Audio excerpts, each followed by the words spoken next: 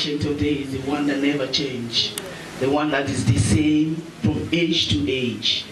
Morning, do no day and night, our God is the same. Father, we give you all the glory. We give you all the honor. We give you all the adoration. The God that is God all alone, the God that is God all by himself. Father, we give you all the worship because you deserve it all. We give you all the adoration. Daddy, we thank you. Hallelujah. Hallelujah. It is time for us to hear a bit of message. We have been encouraged to write down our uh, questions so that uh, it will be answered in the house. Hallelujah. We are going to call on our mother. We are going to call on an elect of God. We are going to talk, you know, call on this woman that has been doing uh, wonders in the king, in the kingdom. That has been glorifying the name of the Most High God wherever she goes. That has been stupefying the king, I mean the, the, the, the, the wicked and the devil. That has been exposing every plan of the devil. We, she's no other person but the person of our mother, our sister. Hallelujah. Reverend Margaret Odoniyi Olatunji.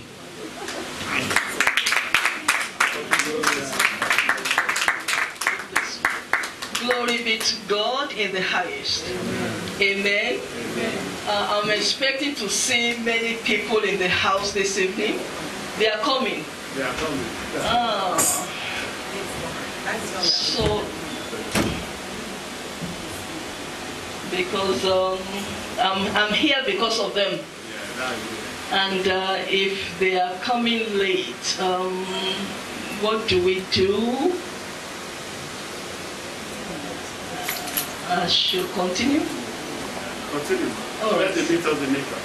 Okay, okay, sir. Okay.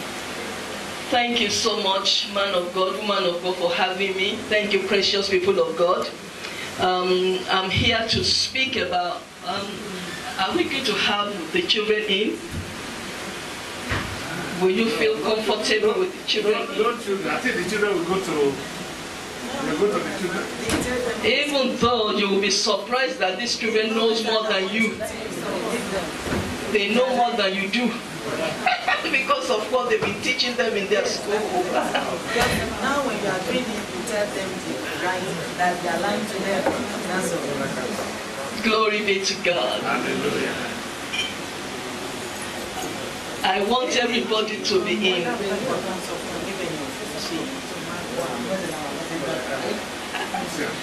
Okay, praise the Lord. If you are here, I want you to listen carefully because I believe the Lord that um, God will touch your home. The Lord will touch your life. If you are single, uh, you need to grab this information because I believe the information will be useful to you tomorrow. And if you are married, please pay attention. Glory be to God in the highest. Amen. Amen. Uh, this afternoon, I'm going to speak about sex and marriage. Praise the Lord. Um, like I said on Thursday, uh, the men and the women of God in the church today, they are too holy and they are too spiritual. They don't talk about this, they don't preach it. But glory be to God for raising something like me up to, to, to preach it and to teach it for the benefits of some people. Glory be to God. Um, if you are married, I want you to know that sex in marriage is a gift from God. Praise the Lord. And it is only for the married. If you are single, please don't go there. Otherwise, you will be playing with hellfire. If you are single, you are not married, that is not your area until you are married. The only people qualified for sex is the married, not boyfriend and girlfriend. Until you are married, not when you are dating, not when you are courting. you are married.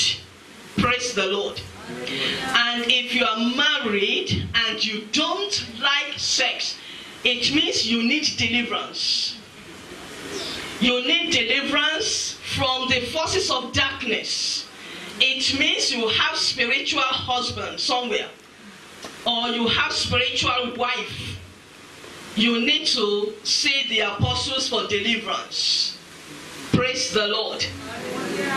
Now, the Bible said in 1 Corinthians chapter 7, verse 4 and verse 5. Um, I will actually prefer silence when I'm ministering, please. God is speaking to somebody. Um, let's minimize movement, please, and let's respect the Lord. Glory be to God in the highest. First Corinthians chapter 7, verse 4 and verse 5. Husband, you have no power over your body but your wife. Wife, you have no power over your body but your husband. The Holy Spirit said, Defraud ye not one another, deprive ye not one another, starve ye not one another, deny ye not one another, said the Holy Spirit. And he said, except in the case of fasting and prayer. Jesus said, there are some issues that will not be re- resolved except by fasting and prayer. So maybe you identify an issue in your home and it needs fasting. In agreement between the husband and wife, you decide to fast and to pray. The Holy Spirit said, after your fasting and your prayer, come together quickly before the devil tempts you, says the Holy Spirit. Glory be to God in the highest. The question is why is it that people are not obeying the scriptures? Why is it that Christians are not obeying the scriptures? Why is it that men and women in the church today are not obeying the scriptures? The Bible said that love covers a multitude of sin. Love covers a multitude of excuses, but hatred exposes them. When love runs out between a husband and a wife, you begin to see, you begin to hear many excuses. The first excuse you will hear is, well, the husband is out of shape. The husband is pregnant. The husband has developed a pot belly. Whose fault is it, precious wife? Obviously, your fault. Because you give your husband uh, the, the menu. You serve him with food. Wrong food, wrong diet, at the wrong time. Praise the Lord. Some wives will say, well, their husband is not available. The husband is always tired. The husband doesn't reach the climax. He's always tired. Whose fault is it, precious wife? It is your fault. Because uh, you serve your husband with, uh, just imagine what you do. You serve your husband with uh, a very nice pounded yam and uh, palatable uh, at 9 p.m.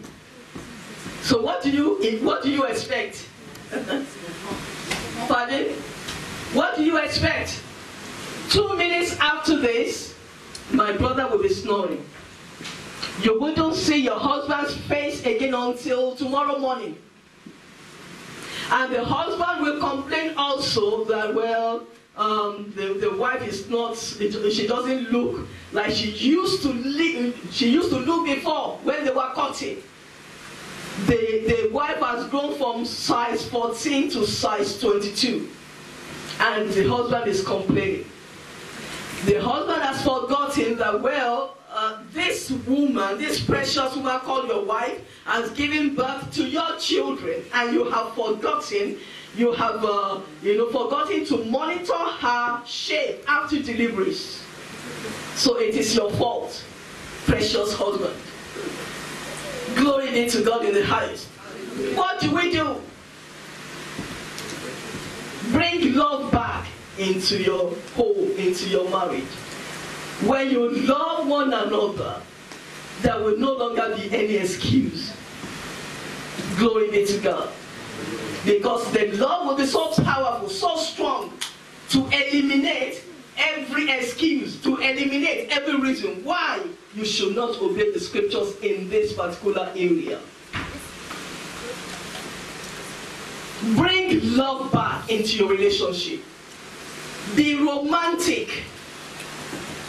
Be attractive to one another. Don't send your husband out. Keep your husband in. Do everything you need to do as a wife. Let your husband say that, well, there is nothing I'm looking for in a woman that is not found in my wife. Praise the Lord. Help your husband to be whom God wants him to be. Help your husband to fulfill God's purpose in his life as a husband. Husband, help your wife to be whom God wants her to be. Help her, make her to fulfill God's purpose in her ministry on earth. Glory be to God in the highest. Regular sex in marriage is the will of God for you if you are married. If you are single, like I said earlier on, don't go there. God will not change his word because of you. Don't say that because it is winter, as a result, you want to behave like them out there, even though you are in the church. Call your landlord to service your radiator with a winter period. The landlord, excuse me, um, I think my radiator needs uh, service.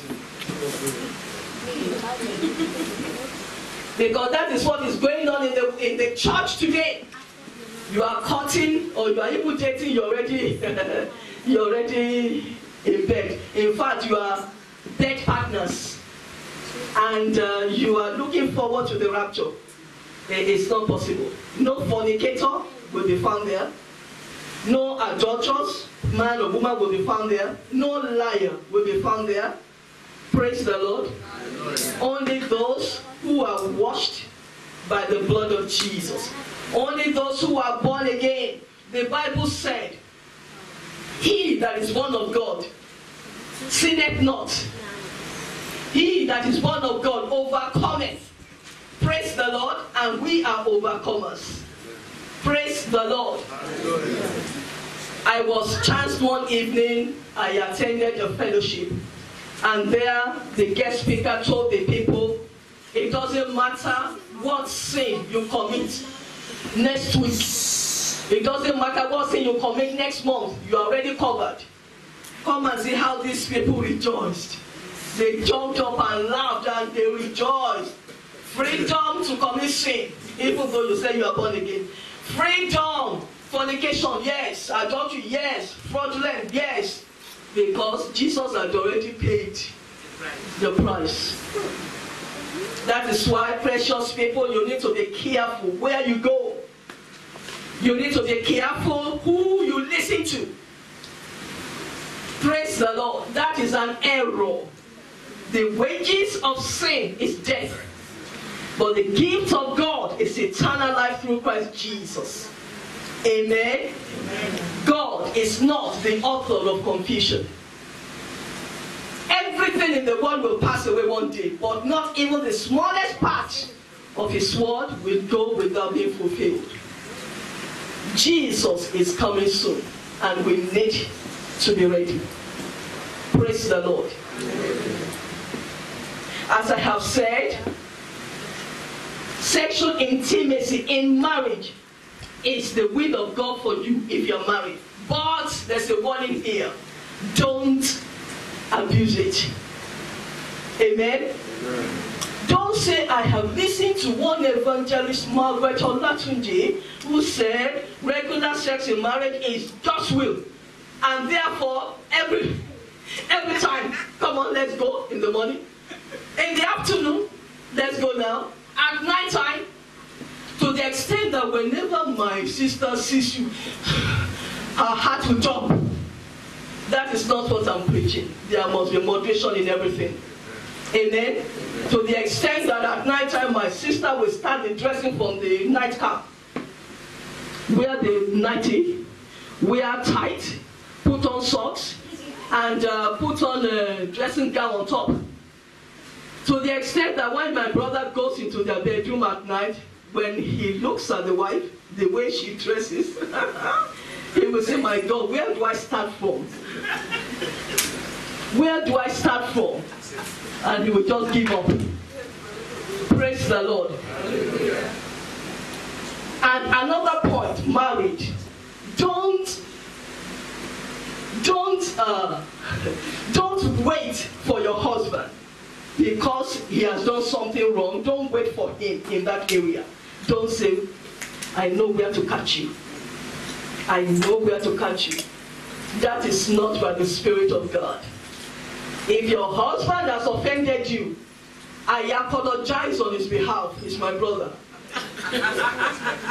Please forgive him. Ma, the offense. whatever the offense may be, I apologize on his behalf. Please forgive my brother. Husband, if you are here, if my sister has offended you, please, I apologize on her behalf. She's my sister. Please forgive her. Let there be love. Let love reign. When you look at Galatians chapter 5, the fruit of the Spirit, the mother is love. Where there is love, there will be peace. Where there is love, there will be joy. Where there is love, there will be patience. Where there is love, there will be long suffering. Where there is love, there will be faith. There will be goodness. There will be kindness one towards another. Glory be to God. There are types of love. Bread and butter love. Which means, oh, I love you, I love you because things are going on far. Some people don't even know the meaning of love. You want to know what love is? When trials and difficulties come, then you will know that, ah, truly this person loves me. Praise the Lord. We're talking about unchanging love, unwavering love, unwavering love, unconditional, agape type of love. That is what you need to pray. Ask God to plant in your husband's heart, in your in your wife's heart, and it will happen as you have asked, as you desire from the Lord, in the name of Jesus. Just imagine, people say, I love you, I love you, I love you for different reasons. They said, I love you because of what they want from you. They said, I love you because of what they are going to get. I love you because of the physical beauty, not knowing who is inside. Praise the Lord. So, precious people, especially the singles, if you are here and somebody is saying to you, I love you, I love you, please check that type of love. It may be a 419 love. And please report the matter to your man and the woman of God. They will be able to put you through. The Bible said, in the multitude of counsel, there is safety. Praise the Lord. Hallelujah. Glory be to God in the highest. Um, I haven't said all that I've said already about sex in marriage. I want you to learn how to prepare one another. Let love making be what you are looking forward to. Be excited about it. Amen. Prepare one another towards it. Don't just grab and descend. Praise the Lord. Let me share a personal uh, experience with you. I was married for seven years and three months before the Lord took my husband. But that was that was a husband from heaven. I'm telling you the truth. When my husband passed to glory, the people around that knew us very well, they said, wow, they loved and respected one another.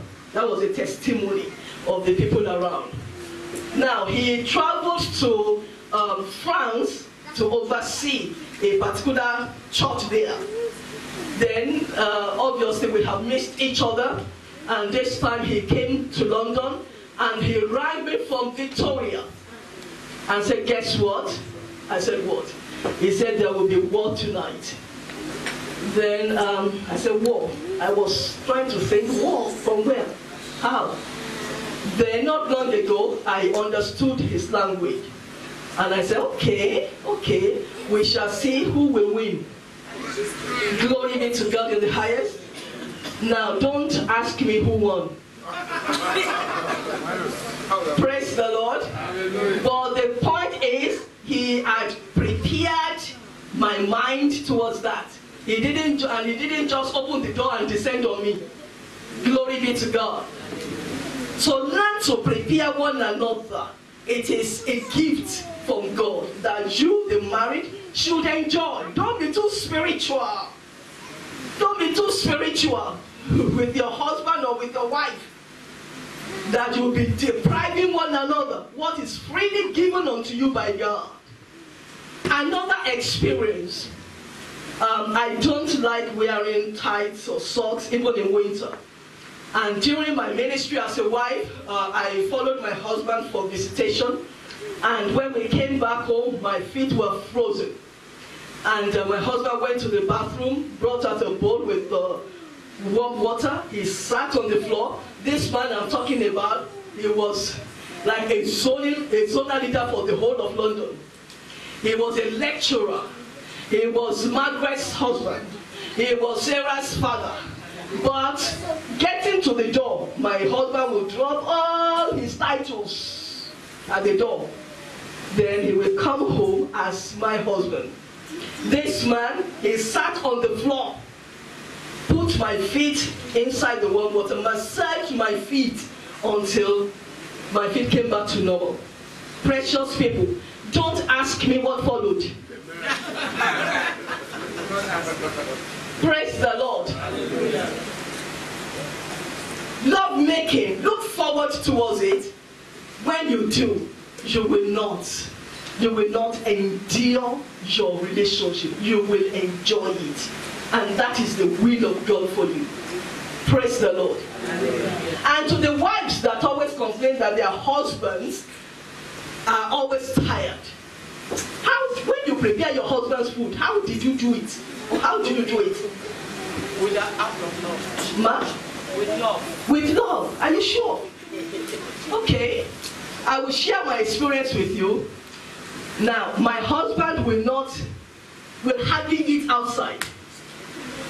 When he finished all that he needed to do out there, he will, he will be looking forward to come home and settle down with a proper meal. And what I used to do, which I think if you apply it also, you will be happy in your relationship. Before I cook my husband's meal, I will pray. Somebody is smiling. What's wrong with this woman? What's wrong? How can she be so committed to this husband? Well, that is my job. Do you know when when God caused uh, Eve, you know, after what happened in the Garden of Eden, one of the causes was that your heart will always be on your husband. And that was a good cause. your heart will always be on your husband. So after my heart is on God, the next person is on my husband. I will know where my husband, if you say, where is Mark? I will tell you where he is any given time. I knew my husband very well. Glory be to God. So I prayed. I said, Father, let this food be seasoned from above. Let this food heal, strengthen. my husband in the name of Jesus. And do you know what? My husband never fall ill throughout our relationship. Amen. He will come home, you will be smelling. I, I wasn't using thyme or, or curry or what do you use? I wasn't using all those seasoning then, but you will be smelling a kind of aroma in my food. You will know that it, truly this food is seasoned from above.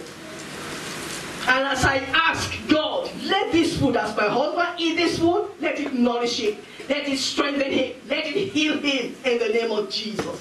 So there is no way your husband can be tired in bed. Praise the Lord. So whatever you are doing to make your husband, you are doing it to yourself. You are helping yourself. Amen. So apply this this uh, apply these methods in your relationship, and let us see what will happen. Glory be to God in the highest. And remember, please forgive your husband. Don't allow the sun to set on your anger towards your husband. Praise the Lord. Remember, Jesus is coming soon. And we will give an account how we make this husband, how we make this wife, or we will answer the query Did you break him? Did you break her? Most uh, husbands, many husbands are in mental homes today because of marriage.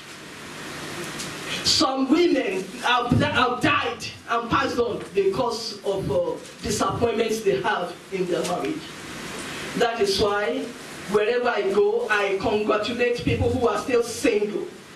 That, thank God for your life, you are still single. Because you don't want to make the mistakes that the marriage of today made. And they are crying out for help today. Praise the Lord.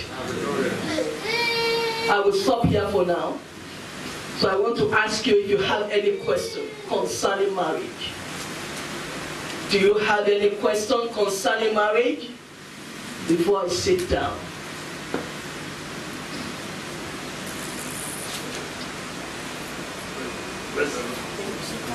Praise the Lord. I think uh, what we're going to do, Mama, you have your say. What we're going to do in this aspect is that, uh, please, we like anyone who have any question, just write it in a paper. We don't want somebody to be sticking minds or somebody to say, oh, I'm afraid I can't say what I want to say. Just write it in a piece of paper, somebody will go around, collect it. Please, if possible, write it in a capital letter. Because some people can write like doctor that we can't see what is there. Praise the Lord, somebody. And uh, I pray that the Holy Spirit will lead each and every one of us. Because uh, spiritually, we have men in the house and we have women in the house to be able to use the wisdom of God to answer that question. And in terms of experience, when I say experience, people were supposed to emulate like a mentor.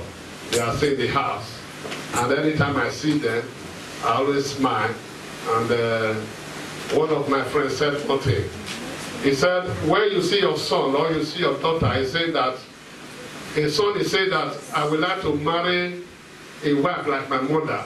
It means the mother is a great woman. Praise the Lord, somebody. Amen. And if you see a daughter say that I would like to marry a man like my father, it means the father is one out of a million. Praise the Lord, somebody. Because as far as we are concerned, we are children of God.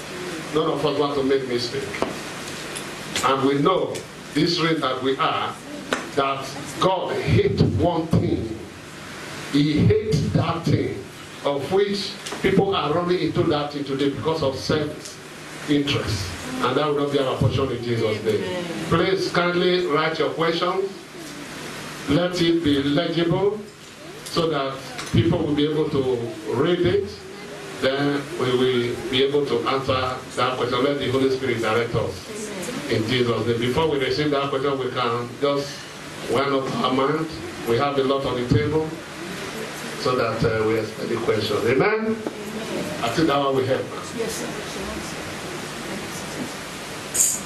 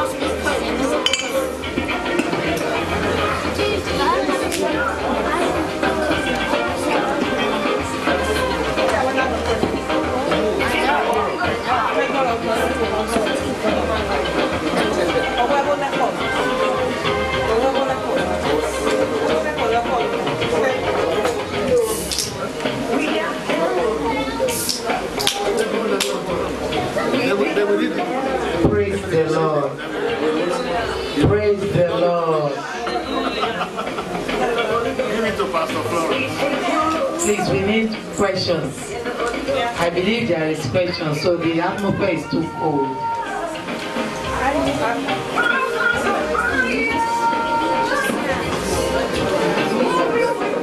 Praise the Lord. Praise the Lord. If you want to write, you write. If you want to stand up to ask questions, you are free to ask questions. Even if you don't want to write it and you want to speak out, please, you are free to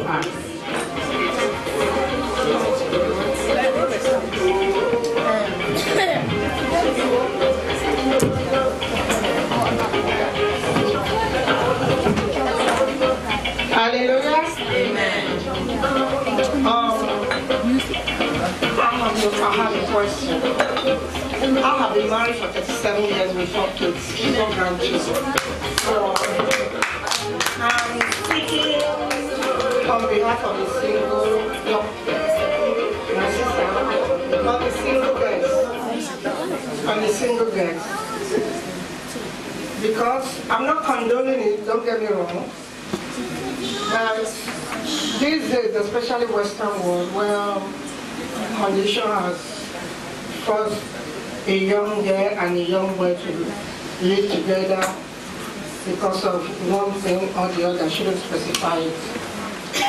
What happens if they are living together? They shouldn't have sex, or they should have sex, or shouldn't?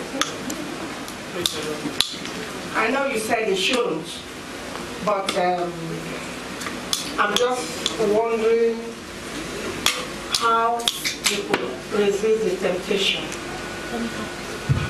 What advice would I have to take home to rid people of such? Praise the Lord. Praise the Lord. Hallelujah. Praise the Lord. Um, I will please um, encourage you, ma, to please go back to them and ask them, ask them to please give their lives to Jesus. The wages of sin is death. Fornication. It is called fornication. And God is not going to rewrite the scriptures because of anybody. Let them give their lives to Jesus. When they do, genuinely, they will be able to stand before heaven and before God. That I used to be like this before, but I am what I am today by the grace of God. They will be able to have a testimony that he or she that is new in Christ Jesus is a new creature. All things are passed away. Behold, all things are new now. Praise the Lord. When their, their salvation is genuine and real, um, it, it, wouldn't, it wouldn't take them any uh, big deal to separate from sin. They will apologize to one another. They will see that this is not the will of God for them to be bed partners. Bed partners, they are not husband and wife. God bless you, man.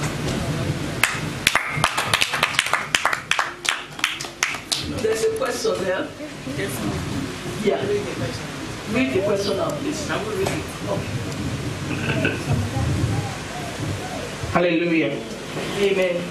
The next question is, um, it says, uh, in a situation where the man has children and the woman have children, and they both planning to get married, how do someone manage the home? Praise the Lord. Number one, um, the, the wife with children, I would like to know where is the father of that children? And uh, the man with children also, where is the wife, the mother of these children? Um, it, it may be the mother died, maybe the father died. In that case, love, love will not bring about any division. The, the, the husband's children becomes the lady's children. The lady's children becomes the man's children. So they see the children as their children, no division. But if the, the, the mother of the children uh, is alive uh, but divorced, or if the, the father of the, of the children is alive but divorced. If the divorce reason is as a result of, uh, of adultery, uh-huh, they are free because the Bible said that they are not under anybody. If I mean, the only reason why Jesus allows divorce is in the case of adultery. If it's not the case of adultery, the, uh, the man and the woman, if they have the hope of heaven, they will go and make restitution. You don't divorce your wife or your husband because this person offended you. There's something like that that you go, you divorce your husband, you divorce your wife because of uh, offenses. Different from adultery. Excuse me, you will need to go back to the scriptures if you have heaven in view. And concerning divorce, the Bible said that God hates divorce. So God is not the author of confusion. How can you, as a believer, love what your Father in heaven hates? Can you see the confusion, the confusion there? To the extent that uh, a pastor will come to the people of God and say, uh, My divorce documents are out now, which means I'm free now, I am available. You also can do the same. If I, your pastor, can do it, it means you also can do it. Don't do it. If you do, you will end up where that pastor will end. And that will not be your portion in Jesus' name. You cannot divorce your husband or divorce your wife as a result of offenses. Jesus said offenses will come as human beings, obviously. We will step on one another's toes. And Jesus encouraged people to be in readiness to forgive all the time. But in the case of violence, where there is threat concerning this person's life, I agree with Brother Paul. Separate. Separate. Don't divorce. Separate. You, you know, it is not God's will for you to die in that relationship. If the man is beating you up, almost want to kill you, I beg you, precious sister, run away for your dear life. Separate yourself. During that time of separation, maybe the Lord will have mercy upon this man or upon this woman, and he or she will repent. Then come back to one another. Praise the Lord. Glory be to God in the highest. Sometimes, look, the, the, my third um, ministry, a hour of prayer with precious women and precious men. Look, these men and women, they are precious to God, but maltreated, frustrated, ignored, battered by men, by women. You see a wife, the way the thing, this one will jump at her husband and beat him up. In fact, you will feel so sorry. A, a, a pastor collapsed from the pulpit one Sunday. He was preaching. They rushed him to the hospital, King's College Hospital. He woke up and said, Where am I? They said, Man of God, you were preaching, uh, you collapsed and we brought you here. You, you don't want to know what this man of God was going through in his home with his wife. You don't want to know. So if the marriage will lead to death, please, I agree with Brother Paul. Separation is allowed. You cannot, and you are hearing it from my lips now, uh, before God whom I serve, that divorce is not the will of God for you. Praise the Lord. Yes, ma'am. Sorry, sorry. Praise the Lord. Praise the Lord. Hallelujah. Uh, you know, our meeting here today is a thing that uh, mostly Mama said one thing. He said those that are not married yet, they are the one that is most fortunate in this workshop. In the sense that they should not make the mistake of our fathers or make the mistake of our mother or make the mistake of our uncles or something like that. Praise the Lord. The Bible says, if the foundation destroyed, what can the righteous do? Because for people coming together, you see this one is having two, the other one is having two. They are coming together, as Mama has said. It's your responsibility. Find out what led to that situation. Because if that person say, oh, uh, maybe the one is having before, as Mama said, maybe now is too big or is too fat, or now maybe it was on size 16, now it cannot wear 16 anymore, it's now 28. As a result, you want to use that opportunity. Mind you, a time is coming that you, that is running after, you will become 20 or 28 one day. And he will still abandon you and go for another one. And that will not be our portion in Jesus' name. Because when you are in this type of situation, just like the young one now, it is their responsibility to say, where am I going to? Where am I going to? Let them see the face of God so that God can direct them. Because the God we serve is not an author of confusion. Praise the Lord. Because when you see people, today they rush in, tomorrow they rush out. That is not the will of God. It is better you wait for, let's say, five or seven years before you get married and get the one that God have ordained for you than say, oh, because my people are doing it. I have heard something like that. Oh, now my junior ones, everybody are not having issue, or my brother are not having issue, or my friend are not having issue. As a result, I should go and do it. Guys, those are the people that will rush in and rush out. Please, God hate divorce. And what Mama have just said, if you are in a situation where you are being tormented, where your life is not safe, you are at risk, please separate. And not just separate, as you separate, you must commit that relationship into God's hand.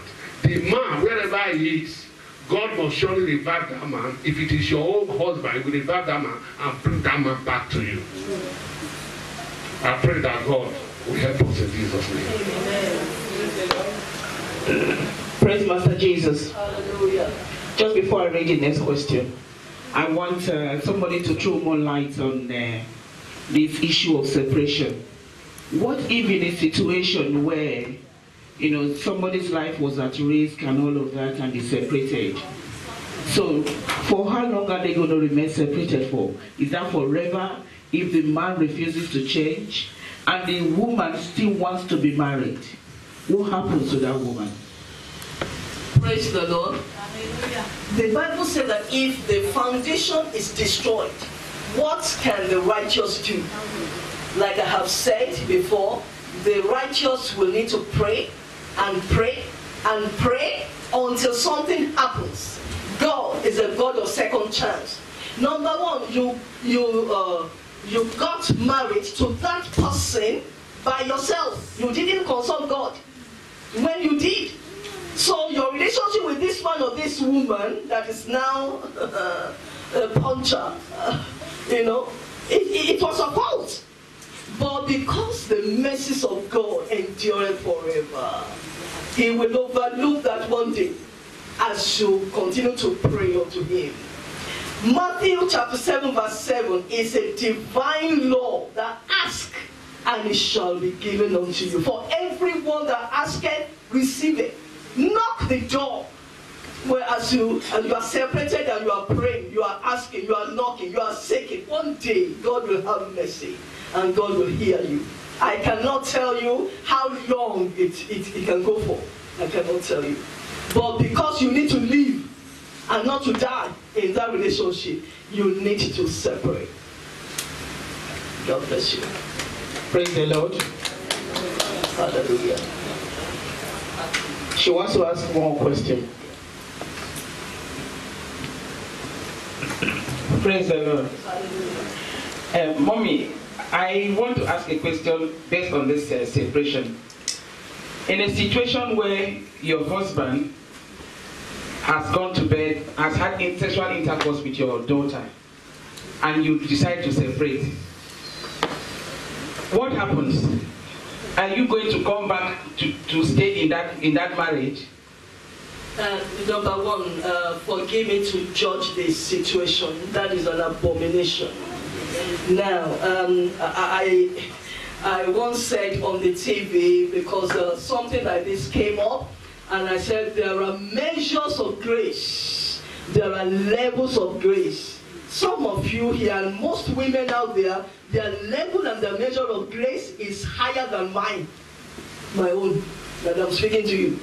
So, which means what other women, what you can take, I cannot take it. That is me.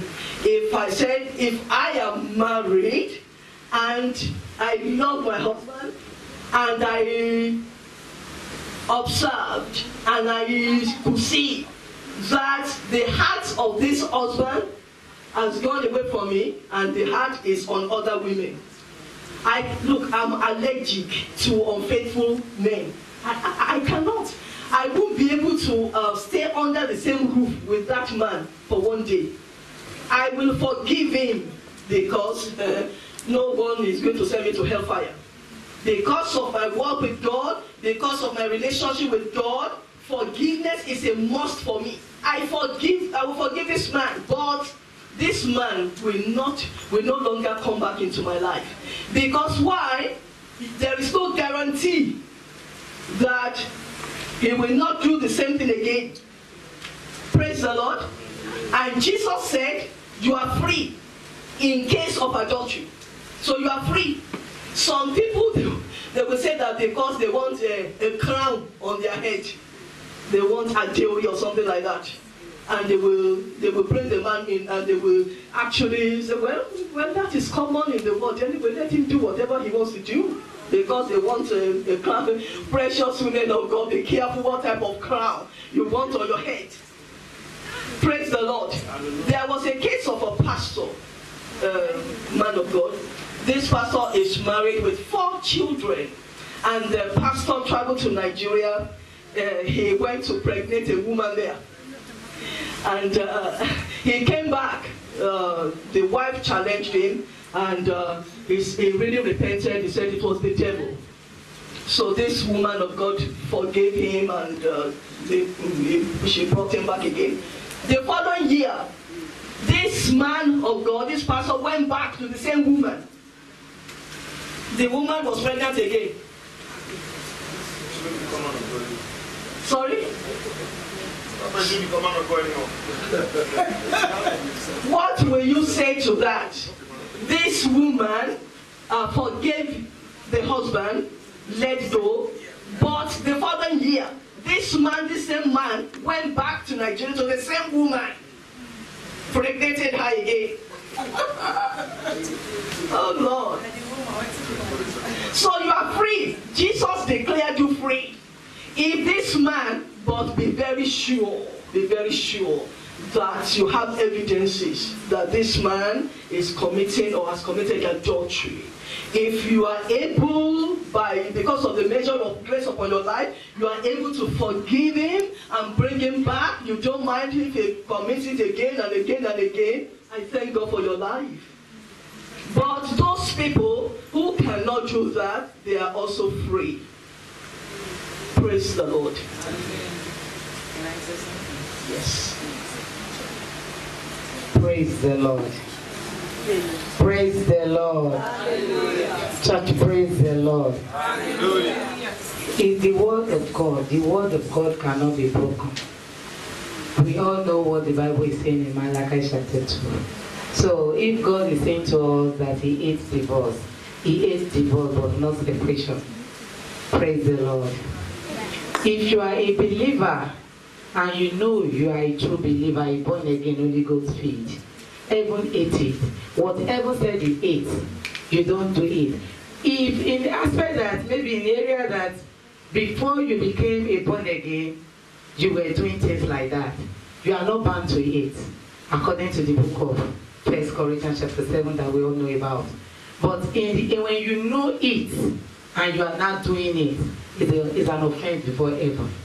And even in Romans chapter 7, when you try to read it from chapter 1 and from verse 1 to 3, the Bible keeps on saying to us that as a husband, once you, once you know you are a born again, a Christian, a true believer, except your husband die, except your husband die, that is when that rope, that curse, rather that covenant is being broken. So long you are a born again, if the person you are, you as a Christian, at times we think we can help God. If you are a Christian, you, the woman, believe you are a Christian, you are a born again, and the other side of it is not a born again, it does not know God, then you now do that. Then the spirit, rather the Bible said, if the woman want to separate, he wants to go, you let him go because normally at first he wasn't a believer, so he know nothing about the law. So that cause and that vow is not organized, rather it's not recognized from heaven. Praise the Lord. When you know the first time that you are doing, you are the first side is a Christian and the second part is not a Christian. Just because of your selfish interest or what you want, you try to do it. Along the line, things is wrong. Heaven did not recognize it. Even you do wedding, you do everything because both of you were not in agreement. Because both of you are having, you have your selfish interest, the other one have it, his or her selfish interest. That one is not recognized. Everyone did not accept it. Except if both of you are true believer. That is where we are talking about. You cannot separate. It is not possible for you to separate your husband or your wife. This aspect of my, he said he has this, she has a great grace of doing this, that. If, uh, if you are being tied to Christ, that yes, whatever happened, you let go because even you yourself when Jesus was talking about adultery or whatever they were talking about, that means you don't have sin before God. Adultery, yes, he offended you in, that aspect. Have you been doing any other thing that you yourself have been offending the man in the other side that the man don't know and never knows about it? So it's these two different ways until we get understanding about the things of God, then we'll not be able to get it right. If we are still walking in the flesh, that is why we still complain about being divorced. Then it's better if you divorce, then don't marry. Bible says when you divorce, don't go into any marriage. Then stay as a single, a single mother or a single father. There is no need of you going back because one thing heaven knows the first husband the first person you get married to is what heaven recognize if both of you are true believer a born again christian. Praise the lord. If two of you are true believer heaven recognize there is no way you keep on changing them testing them changing it there is no first husband is always first husband. There is no how you want to go and try outside there. You will always remember the first one that caused husband that heaven ordained you to be husband or wife. There will the second one will all because the same thing you are fighting the other one might be good in that aspect and the other one will come and you will still be always thinking about the other one. Study your bible go back to we can read the book of romans chapter seven. The people have our bible there the book of romans chapter seven let us read it. So maybe we can get some little word. The same thing in uh, corinthians first corinthians the same chapter seven. It's very difficult to take because of the flesh working inside us but if you want to allow the spirit to work it's easy. You ask for grace for the spirit of god to lead. I have a son and i remember when uh, when we talk about single like you you you made mention about singles and all. I have a son then i pray that heaven will keep on guiding me and be teaching me on how to walk about it then i remember when he was growing up around uh, when he was age of 16 17 then i was telling him this is what god don't want. If you do this you fall into the prayer of the enemy. My prayer cannot my prayer cannot take it. Once you start sleeping with woman you have problem with god. It's not me. So when he was 18 years after 18 years then he now called me. He said and there is a friend of his that uh, would like to bring him and uh, bring her for me to see. That if i know it's not good i should i should pray about it. That is just a friend though. And i said bring the i told i told my husband that this is what my son said. And i said okay let us invite the person in. So as a mother because based on the question you ask. And i said invite the and i said invite the girl let me see the girl. So when the girl came in so when i saw the girl so the holy spirit now ministered to me that the girl's mother was like maybe they separated and all. Then i called the girl i hugged the girl then i now started asking the girl a question that would you like to do the same way your mother did? She said no. Then i asked about two three questions which the girl now said no. She was she was even crying. And i said as for me i'm welcoming you because i can see that you will have the fear of god. And i asked her i said when will you be able that as a born again did you know this thing heaven don't want? She say no we are not doing anything that i'm not doing i will not i said if you try that is between you and god because heaven see me now that i'm telling you the right thing and the thing. So whenever my son comes to the house i still question. Then there was one particular day after they finish their secondary school i believe he believe uh, since he has finished secondary school now he's in in university that he has the the liberty to do whatever I want to do. I was in the church one fateful day. So around seven o'clock the same my son called me. He said ah that uh, this my friend is having issue with uh, our parents at home that uh, and secondly he doesn't want to go home. He want to stay. And i said really? He want to stay in the house? Don't worry. And we are coming. So when i came back home when i got home i said do you know what since you are having a girl yes we have a room. I said you choose one. Either you allow the your girl to stay upstairs in your room or you allow her to come down at the sitting room. Choose one because in my kingdom heaven disagree it when it's not yet pronounced. It's better i know you i know the family. Let me go to the family to let them know that yes once this thing is being pronounced to say um, introduction has been pronounced. I can set you free that yes introduction whatever that heaven wants then i will let you be doing. He said no no no no no. Then they now said okay. She, she, he now said i will leave the room for the girl to stay. Let him come down to sleep. And ever since he have never tried it. So every day when i call where is it even when he was there. So the same way i call the girl then you, your own your own part is to show them the way of god if you can show them i draw them you draw them to God, not to allow them because oh you've done them. You want if really you are a mother and you really believe in God, you trust God that yes you are heavenly heavenly citizen. There are some things you let your children know, and you don't think oh the modern life, the modern world. If Bible says we are in the world but of the world, we should not be doing what the other people are doing. Is an offense before heaven. Please let us know what we are doing. The flesh will kill us. The flesh is what we are working with. We are not working with the spirit. If really we are working with the spirit, we'll be able to know when we are doing wrong and when we are doing right. Praise the Lord. Praise the Lord. Any more question in the house? I'm going to take the next question now. I'm going to read it out. What would you do as a minister of God when one of your Christian came with someone that he or she wants to marry? You look at them from the beginning, you can tell that the, the union is not healthy, but they still went ahead. Along the line, the relationship turned pear-shaped. What will you do?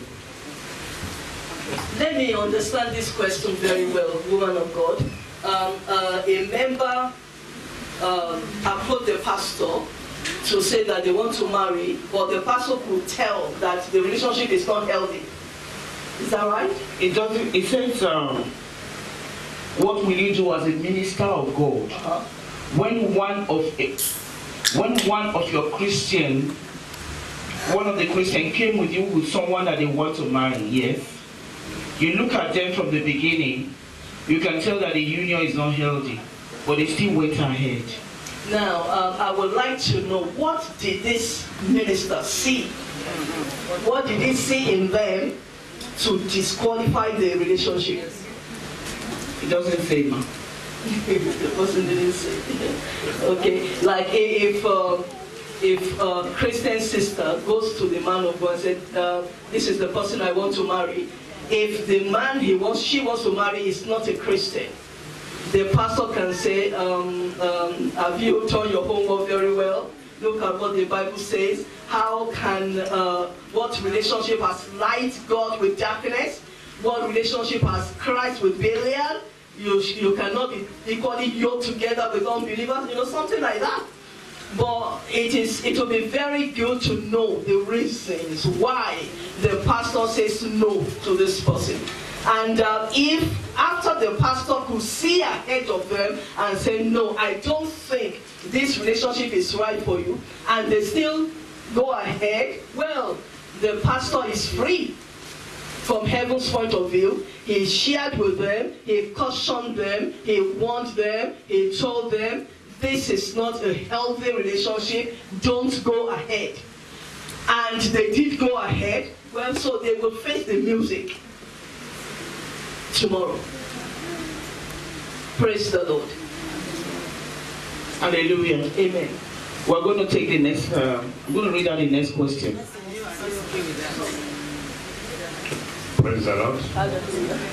Uh, I think uh, in every ministry, or as every or church, whatever you like to call it, they always have protocols. They always have rules and regulations before they conduct marriage.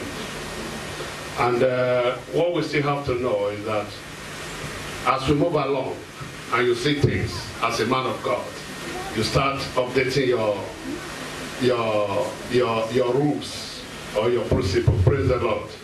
There are some, you know, some ministry whereby they say, okay, before you marry, you want to see like blood tests. There are some ministry where they say, oh, before you marry, you have to do some certain things.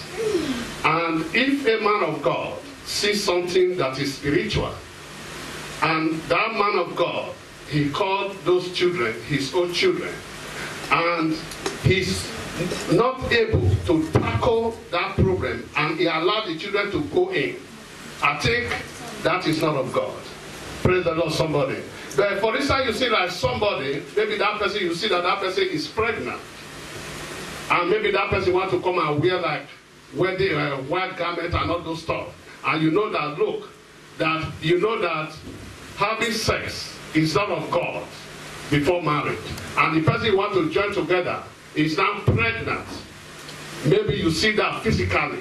You say, no, please, I cannot do this now. Maybe after delivery, we can bless you or something like that. That one is not a crime. But when you don't have all those things in place, you don't have things in place, and you are not able to identify your reason of disqualifying that marriage, and verbally just say, oh, uh, well, I don't think that this marriage will work. And you just say like that. And at the end of the day, at the marriage didn't work, you say, well, it's my pastor that even prophesied that the marriage is not going to work. I don't know if we are making sense here. In any ministry, we must try and have things in place. We have what we call counseling, because actually, there are some people, they say, oh, I want to marry this man. Maybe after dating, after counseling, you will find out that this man is not the right man. That is why we have like counseling, we have all those type of things in place so that we will not allow our children to go astray. And I pray that any type of question that we want to ask, we must try to be a little bit detailed. Because if we are not detailed, you will not get the right answer. And I pray that God will help us in Jesus' name. Amen. Amen. The next question goes like this. A man has uh, more than one wife before he became born again. What should, you do, what should he do with his wives now that, now that he's born again?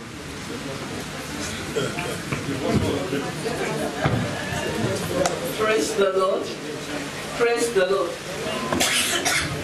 If this man is um, is truly born again and his relationship is genuine uh, with God and is uh, it has heaven in view, it is a very very difficult situation he will find himself. Um, the first wife is the wife. Amen. The first wife is the wife. He will have to make restitution with the other wives. Go back to the uh, to the book of Genesis. God created a woman from a man. One one woman from Adam. He created Eve. He didn't create two women. He didn't create three women from one man. Praise the Lord. Uh, some people in the world today they refer to Solomon. oh Lord. Oh Lord. They refer to Solomon, they refer to David. You are not David. You are not Solomon. Oh, sorry, you are Pastor Solomon.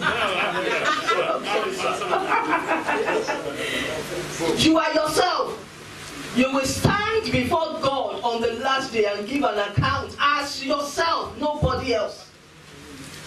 That is why the Bible said that those who, com- who compare self with self are not wise. Don't compare yourself with King Solomon in the Bible. Don't compare yourself with David. Don't compare yourself with the Baba Abraham. Praise the Lord. So if this man who is now born again, before he was born against, born against the will of God, now he is born again he will have to say, I'm sorry to these other wives and let them go. It is difficult, but the grace of God, the grace of God will make it easy and make it possible. Praise the Lord. My brother has a question. No, it's not a question, it's more like comments. Okay, sir. on the question. Yes, sir. Case, that, guy is not born again at all. So we don't know the, circumstances contracted this uh, marriage.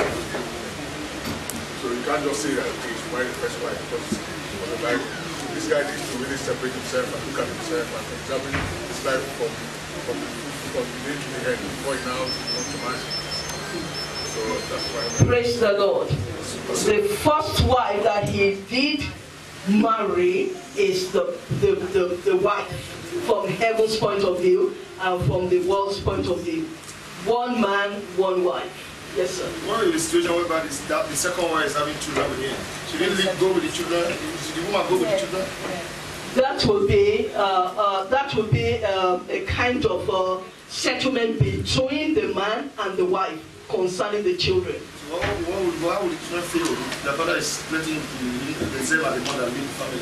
I am going to tell you, um, like I said before, it is a very, very difficult situation. But I am looking at this person as a soul before God, one on one with God. So whatever you will have to do to settle the children and the mother, you will have to first make your ways right with God first. Then God will begin to tell you what you and this mo- the mother needs to do concerning the children.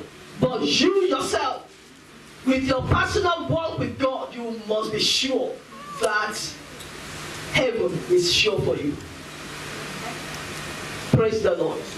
And at this point, I want to say, the Bible encourages us that be perfect as my Father who is in heaven is perfect.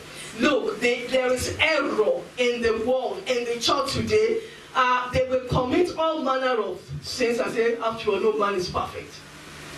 After all, no man is perfect. Excuse me, precious people. There are examples in the scriptures of human beings like, like us. Enoch gave his life to the Lord at the age of 65. After that, he lived for 300 years without sin. The Lord took him. The Bible recorded for 300 years he walked with God.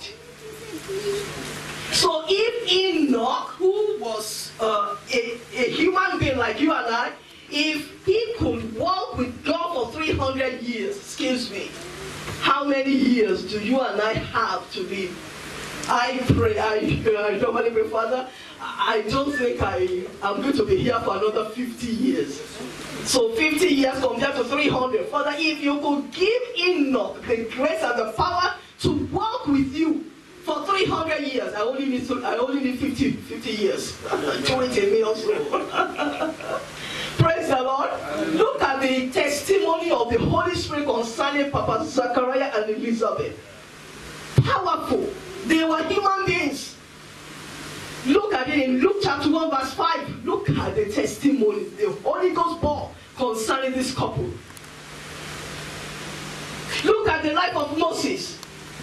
I have God Almighty testified of the meekness and the humility of his servant Moses. If all these attributes were found in human beings, what about you and I? So the error is, well, uh, they will commit adultery right from the pulpit. The pastor, everything that uh, goes in sketch is, is act and his eyes follow. Right from the altar, there is fornication and adultery. And they say, after all, I'm a human being. After all, no man is perfect. Listen to me, precious people of God. If it is not possible for you and I to be perfect, God will not ask us to be as perfect as He is. So the first thing to do is agree with the Holy Spirit that yes, it is possible. Amen. Amos 3 3. How can two walk together except they agree? How can you walk with God if you don't agree with Him? Be ye as perfect as my Father who is in heaven is perfect. Then you say, Yes, Lord. Holy Spirit, I agree with you. And leave it there. Let Him do the work of perfection in you gradually. Praise the Lord. So don't join them in the churches out there when they are committing fornication, they are committing adultery, they are being deceitful, they are lying, they are sleeping around. Don't join them. Don't agree with them when they say, after all, no man is perfect. Welcome, sir. Don't agree with them. Agree with the Holy Spirit that yes, it is possible. And live it for Him. Praise the Lord. To the singles, I want to uh, mention this. When you are courting, please make sure you know everything about this man. Make sure you know everything about this woman. Praise the Lord. Don't hide anything when, I mean, during courtship. There was a case of a man. This man was impotent.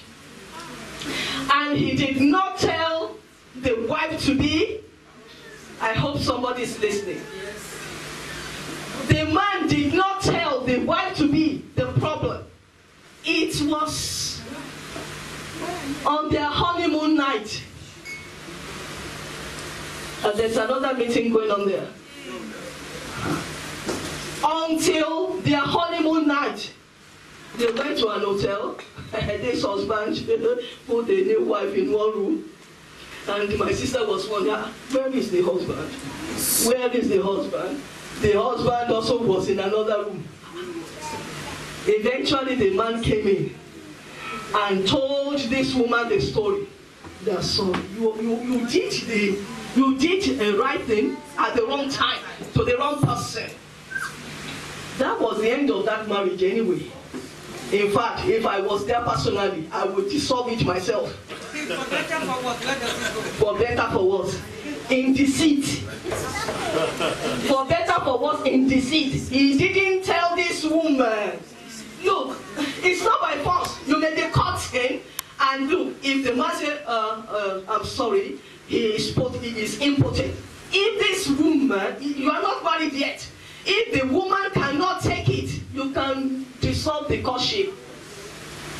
Because when the, the main key is not working, how would you call that marriage? How? How would you? One minute, sir. How would you? Because he lied, he deceived the woman and uh, the, his pastor and the people in the church. They thought he was born again. And singles, be very careful. There are some people that will come purposely into the church you are going because they want to marry you. That is why you need to engage with your man and the woman of God. They know better than you. The anointing of God upon their lives is, is higher than yours. They have more experience than you. You need to involve them. It is true, the Bible said, Blessed is the man that founded the wife. He has found a good thing because he has obtained favor from the Lord. You need to be sure that this man is real, that this man is genuine, that this man is truly born again. There was a case of a man, he wanted this woman by all means. He knew the church she was going to. He sent spies to go and confirm that this woman is in this church. And uh, he also came. Look, he came to the ministry because of this lady. And uh, he got so close to the pastor. The pastor thought he was so, so committed. And the pastor gave him uh, um, uh, area of uh, service. And uh, they got married, unfortunately, under that type of pastor. They got married. They have children.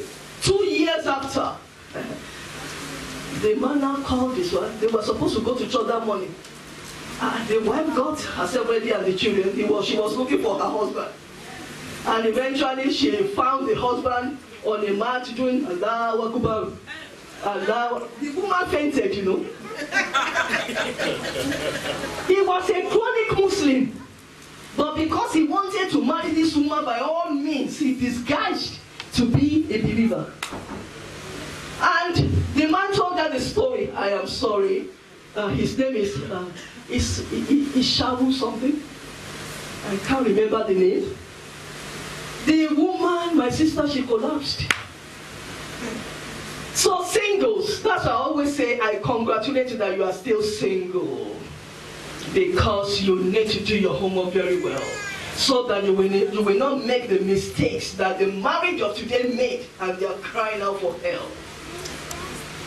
Make sure you know everything about this person, about this woman.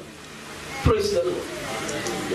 Yeah, I'm going back to when you said uh, the man married you and they went to hotel. They have a different room. You don't think that uh, maybe because the man has not tested anything before. That is why they know it's people there. And second one, as my sister said that uh, it's better for what? It should have been the woman to enjoy for them to fight if they really for them believe God. To believe, to fight for it, to see if, this, if there will be change from the man. Don't you think so? Yeah, I thought so very much.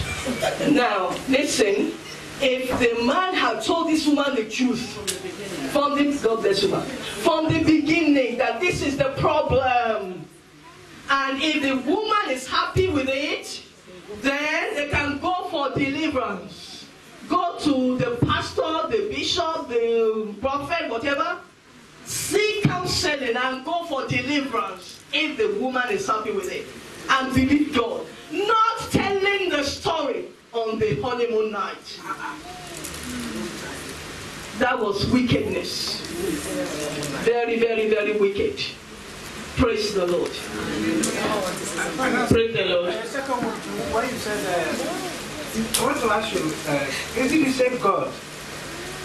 When uh, Solomon married many wives and David, is it the same God that time we are serving now, the same now when you marry single? Is it not the same God that time and this time? Or is it not the same thing? If someone died now, are you telling me that because he married two wives, he will not go to heaven? I want to know whether it's the same God. Praise the Lord. Um, your question is very, very vital, sir. I appreciate you. But the Bible encourages us that we should not compare ourselves with one another. The Bible calls it foolishness. Okay, because uh, Solomon had 700 uh, wives and uh, hundreds of concubines. We are not going to pattern our lives after Solomon. That is why the Bible said that looking unto Jesus, precious people, the only perfect example we are given to look at is Jesus. Yes. Jesus and Jesus alone, not Solomon, not David, not Abraham. Praise the Lord. Praise the Lord. Excuse me, uh, my sister, excuse me. Um, other, When I read the Bible myself, when people compare themselves with Solomon and David, but looking at the whole story, actually, because they violated the rule and the regulations, that's why they ended their life the way they ended. Amen. Because I remember Solomon's son Absalom chasing to death. Amen. This was this is not our portion in the name of Jesus. And the way Solomon end, David, I mean, the way Solomon ended wasn't the perfect end in life because things were falling apart at the end, even though we have all those buildings. So when people compare themselves with uh, David and Solomon, I don't think it's a good comparison in my own view. Yes. I'm sorry, will somebody correct me? Praise the Lord. Hallelujah. It's getting better and better. Hallelujah.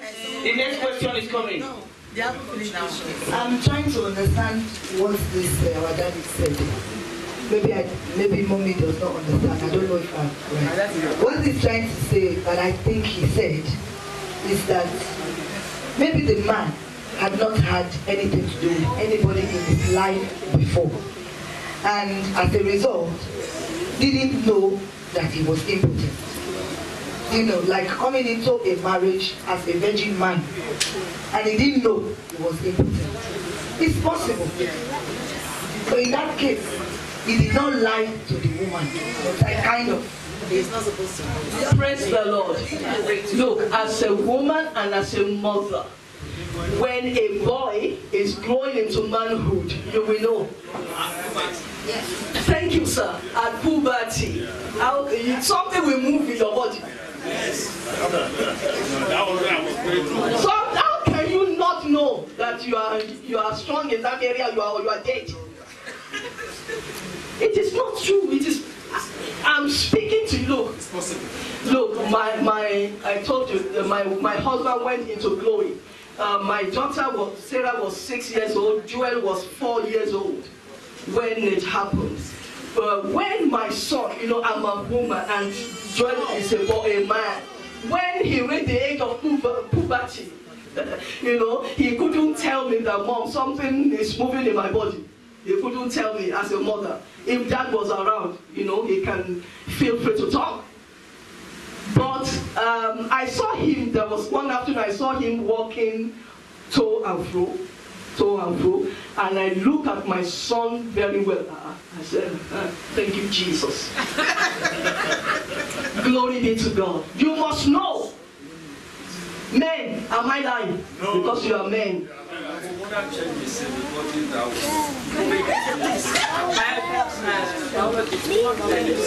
There, are sex hormones in the body, and that level of poverty, there's what the gonad, the trophies hormones, the gonads, hormones of the testes, the hormones of the ovaries, and all that. They begin to act in such a way that they will be reflected in the physical. There's no way you can hide it. Hallelujah. Please let me clap for this man. Let me clap for this man. Do you know? Yes, sir. That's why you're important.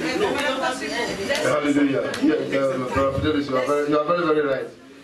Those signs that shows us prove that you are now getting to that age of puberty or you are now getting to an adult. What we are saying here is, is the blood of impotence is that you may grow that size of puberty.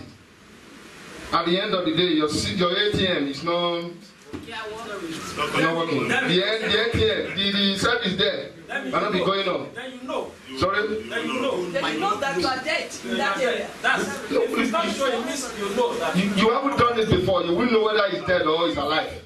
Or you just know, you, because you have not tested. I will not say that uh, there's no network today. Come tomorrow. You don't need to know what you know.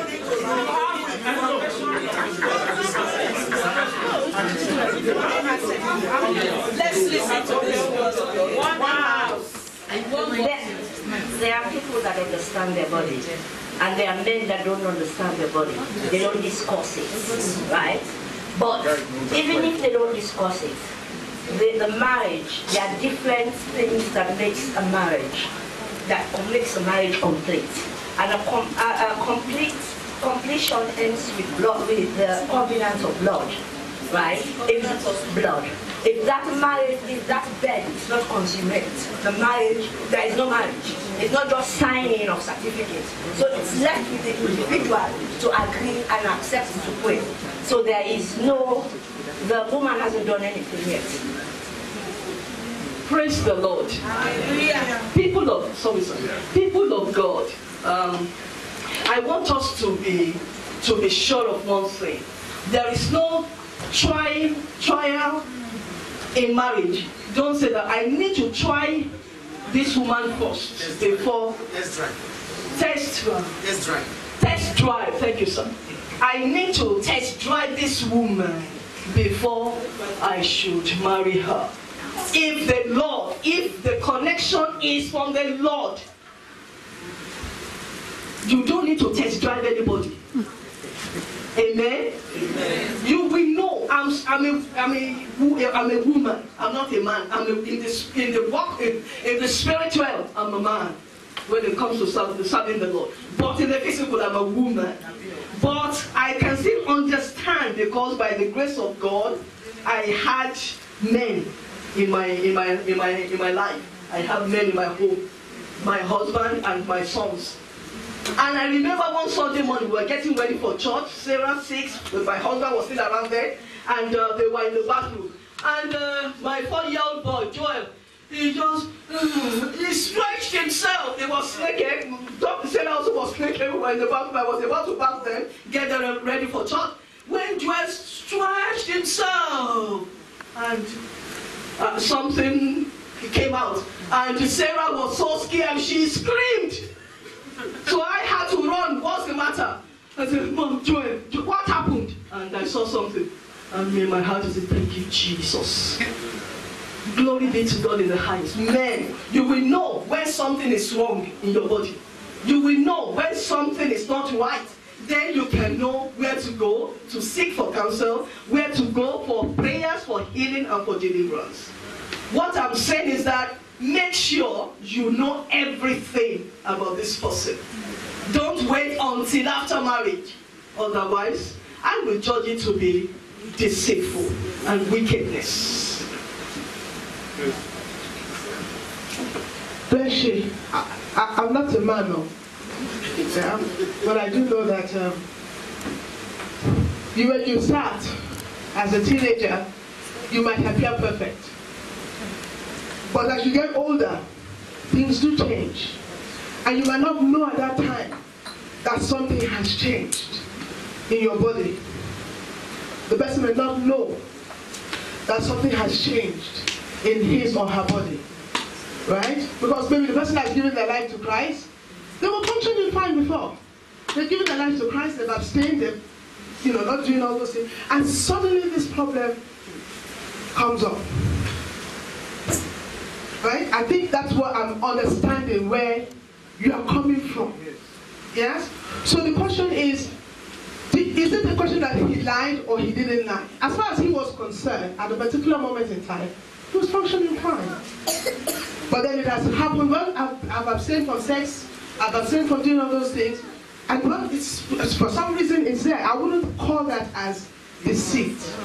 But as mommy rightly said, it might then be that, okay, we have entered into a problem of what do we do? We need to go and seek the face of God. We need to go and have deliverance. There are things that can be done. If people say that, yes, there are men when they reach a certain age, some men maybe by the time they're 40, 50 or whatever, they start having those problems. Do you condemn them because of that? Imagine. There are women that cannot have children. Should the man condemn the woman because of that? So what do you? You get on your knees and you begin to seek the face of God. God gives wisdom to those who seek Him for it. Amen? Amen. There's nothing God cannot do. Impotent or no pregnancy or anything, God can help them if both of them come together as one and agree and stand before God. God can resolve that problem. Amen. Amen. Praise the Lord. Praise the Lord. Hallelujah. I think uh, myself, I have to round up this. Because uh, Daddy asked that question myself as a man. I don't know how you feel, but I know how I feel. Amen? Amen. Because if you marry, everybody is looking forward for that day. I don't know about you. I remember those days when I was dating my, my madam. Yes. We were living in Lagos. I will, those of you that live in Lagos, Akoka and Ibariga, I will escort my wife to uh, Elijah. My wife will escort me back. I will escort her back. We'll be doing, you understand? We'll be doing that. Why? It's because of love. What mommy is saying, mommy is not talking to those people out there, out, there. He's talking to me and you that are here. Amen? Yes. If they say, okay, you people should not sleep, sleep together. You people should not do that. At least, should, the person you are moving with, at least when you are going, you hold your the person that you, you love. That current in your body, if I told you don't do that thing, your girlfriend must see that something is happening. We have to be realistic. Praise the Lord, somebody. Even that woman herself was even at fault. Amen? Then, at the end of the day, if that thing was happening before, and maybe because of shock, it might happen. Maybe when they get to uh, uh, uh, what they call it, a hotel room, what the man had not seen before, he saw something with that shock, everything might disappear. Praise the Lord. But that woman is supposed to give that man another opportunity. Praise the Lord, somebody. He will say, ah, but what is wrong with you? But you know, it's for better for worse. Let's see what is going to happen. Amen? Then, if you look at it tomorrow, repeat, next tomorrow, repeat, because what mommy is saying, because that thing is the key. It's not like you buy a house, you don't have the key to the front door. You can't go. You can't go in. That is what mommy is saying, because that situation is very, very dangerous. But there is nothing God cannot do. But that our sister taking that immediate decision, at the same time, it was not very, very good. Amen? It's supposed to join the poor man and, you know, go in prayer and see how God is going to turn this around. And there is nothing our God cannot do. Praise the Lord, somebody.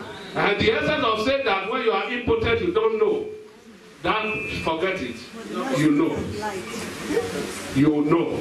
We can talk of low, uh, low sperm count or whatever. We can understand that. Low sperm count, you can understand that. But for your body, abba, Even person you love, you see where his soul goes and your body move. Talkless of human being. God will help us in Jesus' name. Praise the Lord. Hallelujah. Praise Master Jesus. Right. God bless you all. Praise the Lord. I'm going to divert your question to somewhere else, but let me quickly tell you about this lady around the way. Talk about me. Yeah, yeah, yeah. See? We're talking about uh, impotency and all whatnot. I think, uh, well, in my world, you don't need to be told. My dad or my mom never told me a anything. Glory be to God, I'm still with this lady. That's my wife. Amen. At the time we were courting, we were going to about 48 years ago. Wow. Wow. I already knew. no. I already knew. That's not the main question I want to ask, but just throw it around. I already knew what I was, how looking active I was. And she used to come, she used to, I think God is actually does some work that you can never ever thank, thank Him. It's, not that, it's uh, insufficient. But she already knew she was going to marry me. When I got overboard, the best thing we ever did was hold her hands. When I get too excited, she said, sit down then. Why are you in hurry for something that you will do for the rest of your life? When I look back now, she got me there. And luckily we've stayed there. Anyway, I moved, I wanted to move the goalpost to a different direction now. What would you, uh, Pastor, evangelist, so what, what advice would you give to two young people come run to you for counseling? One is a born again Christian, the other one is not. You can definitely see that they are in love and they said they will want to marry. What would you ad- advice would you give to such people? Praise the Lord. Hallelujah. We are taking a different dimension now. Mommy will be crowning it up. If there's anyone in the floor that has something to say, then when we finish from the floor, then we'll come to the, the pulpit, yes? Praise the Lord. So if you think you have an idea or you have an answer to what has been said, you know,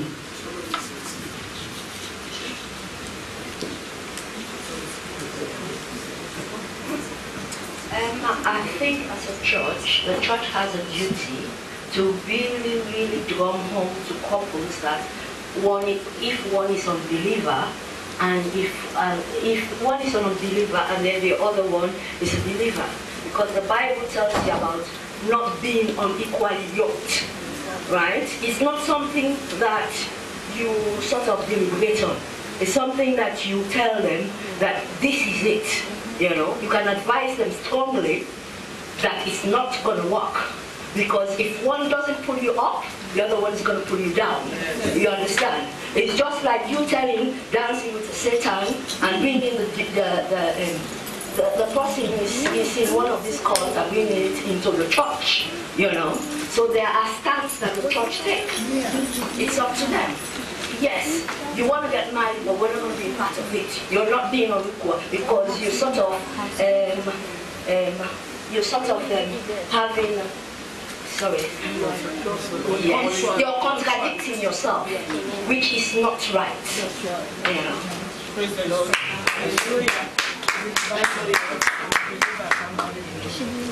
Anybody else?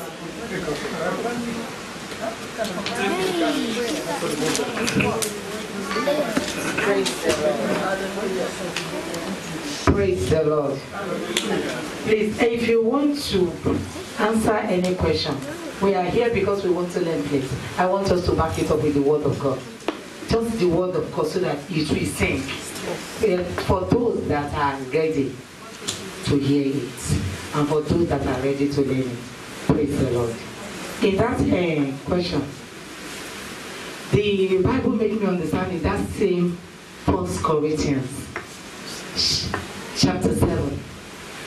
If we are in, if you are there, First Corinthians chapter 7, I want us to quickly open to the book. Based on the question they asked, unbelievers and non-unbelievers. It's two ways. From 13, from verse 13, I will go there. It's two ways. If the unbelievers, because some people believe they are over righteous, that they can bring the unbelievers to glory, to the things of God. The side you should know that is if it's cap if she is capable to walk in line with both, then there is no problem. Then the other side of it now said that they should go and even their children, the spirit, because you don't know you going in there. Yes, but the Bible said in Second Corinthians, like we keep on saying, it depends on those that are ready to believe God and to accept the truth. So he said, if that one, you don't know if you're going with that person, we bring that man to God to accept Christ, that they are not banned. But in the aspect of you doing it just because of your selfish interest. You know, at times we just worried that our time is time age is going, time is going, we want to do it. We don't care or that the circumstances of what is falling off. That we just well, we just want let people see me married and having children. We don't want to know being Christian or whoever. Then we fall in love. At the end of the at the end of the day, we now start having issue. Then we are now thinking how we're going to come out of it. We think about that one first when you study that word you think about it first. You your the only thing your pastor or whoever that you are meeting will tell you is to pray along with you to find out if this thing if this couple will be good or not. And at times when they even tell you it's good you've made up your mind in what you want to do. The pastor cannot stop you not to go. Because already your mind has been made up. You yourself will be telling the pastor this person is good even when the pastor is saying i'm not seeing light in this you tell the pastor the reason hundred reason why you are seeing the light there. Then at the end of the day the bible tell us in that aspect because you want it he said one by right that you are not you, they should not say they should not marry. Then if it now happen that you use your selfish interest to do it and the boy or the girl is not ready to come to Christ and you realize that the act of repentance you realize that is where the Bible now said you can let go in 15 just study that first Corinthians chapter 7 read it from 12 to 15 then you get more about the things of God praise the Lord Hallelujah. Praise the Lord. The question is should you marry an unbeliever and you are a believer? The answer is capital no. Because the Bible says so. First, Second Corinthians chapter 6, there are questions there. How can you, as a child of God, marry a child of Satan? It will not work. You cannot say that, oh, I will marry him or her, even though he or she is an unbeliever, I will convert him or her tomorrow. You are not the Holy Spirit. You are not the Holy Spirit that convinces, that convicts, and converts. So the answer is no. Praise the Lord. Hallelujah. You must be sure that you yourself, you know God. God knows you as his child. Your name is written in the book of life. You are a child of God. Then the person you are to marry, it is the will of God for you to also marry a child of God. Praise the Lord. Hallelujah. If you do it God's way, you will have God's result. Amen. If you don't have the grace, ask God for the grace to wait on the Lord. Make your request known unto God with thanksgiving. God, I am ready to marry now. I am your child. Who is your will for me in marriage? And wait until the Lord speaks. The other issue about uh, a man become impotent, um, sorry, I have to go back to it. Now, there are some people who are deliberately lying in that area because they don't want to lose the child, the, the, the lady. So they say, well, if I should tell her about the impotency now, the woman will say no. So because of that, they keep it. They are keeping it, or they have kept it from this woman until their honeymoon night.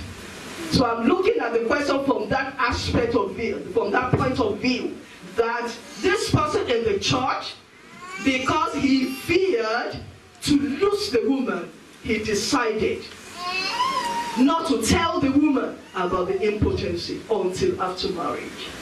God bless you. Praise the Lord. Praise Master Jesus. Can I want, you know, the questions I, I want to ask about the, uh, the not the importance about the church marrying an unbeliever. Use the microphone. Sorry, about the church marrying an unbeliever. An unbeliever. Is it right for the born again church to marry a believer or an unbeliever a- according to their stances that they have? The man of God had already spoken about that. Each ministry has a procedure. There is a procedure for you to follow. The pastor in charge of a church will take it, uh, will take it as a responsibility. Thank you. Take it, will see it as a responsibility, a big responsibility, to make sure that he's uniting two right people together. Because he will be answerable to God on the last day if he, if he dares mislead them. So that is why when a man is telling you, I love you, I love you, number one, check whether that love is not, I love, I'm lusting after you. Because some people, the foundation was built on lust, not on love. They mistook lust for love. So check with your man and the woman of God if you are hearing from the right person or not. Praise the Lord. Every church, every ministry has a, uh, a procedure that this person who wants to marry must follow. That is when you will know whether this person is truly a child of God. If this person is truly a child of God, he will want to comply with the procedures. If he or she is not, he, will, he or she will run away. That is when you know that uh, this person is not the right person. Praise the Lord. Hallelujah. Can we go to the next question, please?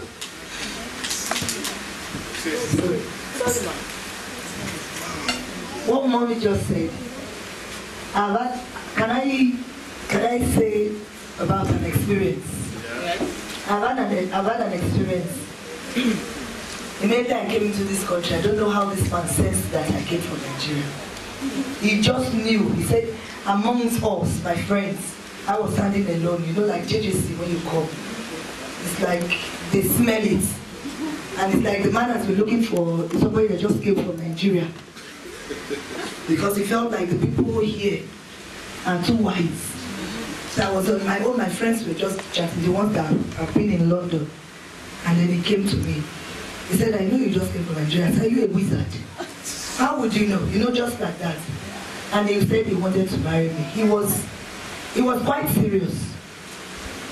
But thank God, because of the uh, spiritual foundation I had from back home, I was already born again Christian. I already made a covenant with God back home that I'm coming here not to come and compromise my spiritual life, but to use what I have to serve Him. So it was already a covenant, and I was afraid of that covenant to break it. So, but he, I realized that most of the men here, they just wanted to do what they wanted to do. But I didn't accept, and I told him that okay, fine. If you're good enough to be a husband, to be one's husband, but you need to come with me. I just I've started a parish. I'm a redeemed member. I've started a parish already. My pastor already knows me, so it, it won't be a problem. Come with me if you are really serious. Come with me to my pastor. Let's sit down and talk. Let my pastor have a chat with us. This man will refuse. But after every time he keeps telling me he loves me so much that he wants to die. If you want to die, let's go and die in the presence of my Father in the Lord. And I tried everything. He will go, we will separate. He will go, he will come back again. I said, you are just wasting your time. I said, because if you don't go with me to meet my Father in the Lord, who will help us to build what we want to do? I'm not rejecting you. I'm saying come.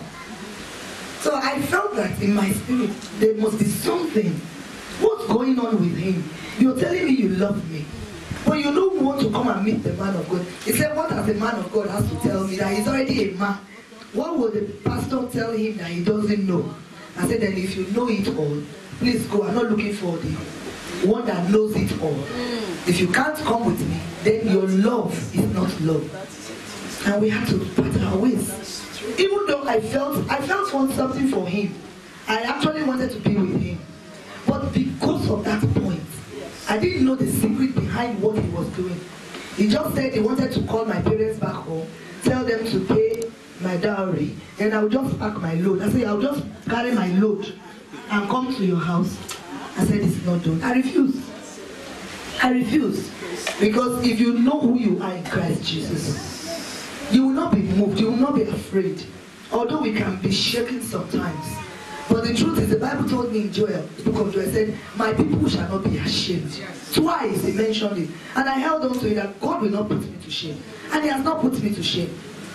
No matter how long I needed to wait. But I knew he was going to answer me. And he has answered me. Amen. Praise the Lord. Next question.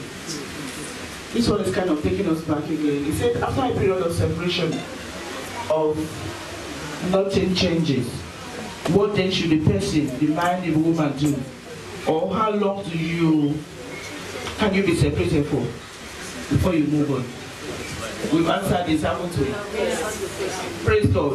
I think we have to move on. We answered that question. The next one is in a marriage where the woman has a child before marriage, the man does not have a child. And the man does not want the child to stay with them when they come together. What should the woman do? Any answer from the pew? Any answer from the pew?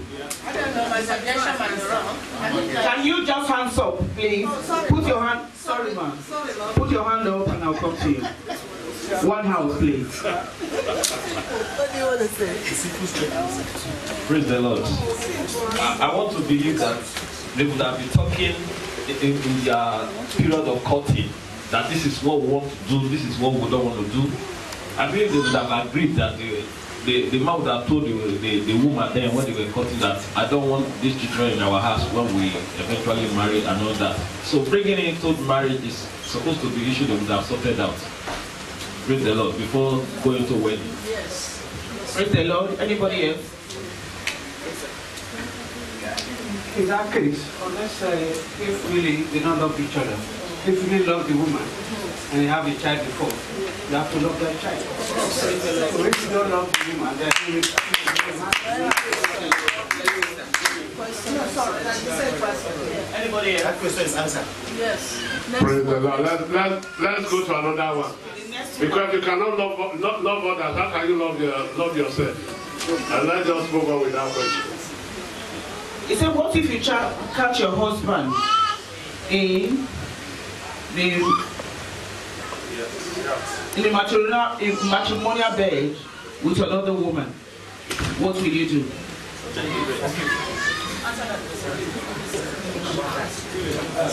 I think we, we answered that before. We just move on. That's adultery. The next one is eh, this one says, Thank you, madam. We can can we all have a look at uh, Isaiah 10, 1 to 3? Could you please explain this scenario and relate it to present day marriage? Has any of one of us got our Bible there? Isaiah 10, uh, 10 Ezra after Nehemiah. Ezra 10. Yes. 1 to 3. If you're there, please read. If you are there, please. Ezra 10, 1 to 3. NIV says, While Ezra was praying and confessing, weeping and throwing himself down before the house of God, a large crowd of Israelite men, women, and children gathered around him. They took, they took wept bitterly. Then Shekaniah, son of Jehan, one of the descendants of Elam, said to Ezra, We have been unfaithful to our God by marrying foreign women from the people around us. But in spite of this, there is still hope for Israel. Verse 3 Now let us make a covenant before our God to send away all these women and their children in accordance with the counsel of my Lord and of those who fear the command the commands of God. Let it be done according to the law.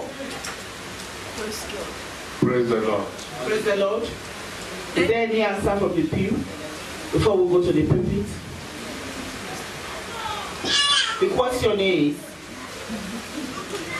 this uh, person is actually asking us to relate this uh, scenario in the Bible to present day marriage. Did we listen to the reading at all?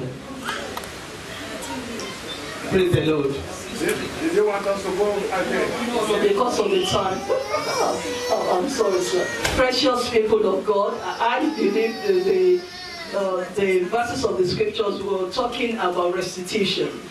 They followed after other women, strange women, and they realized it. They realized their mistakes and the error and they repented before God. They wept before the Lord. And they didn't just do that, they made restitution. They made restitution. Do you know why things are going on in churches today? The main reason is no more fear of God. There is no more fear of God in the church. That is why you will see a lady pastor snatching uh, her member's husband, and when they query her, they will say, and so what? Yeah. The pastor. So when that is happening, please, what type of life do you expect from the members? Precious people, Jesus is coming soon.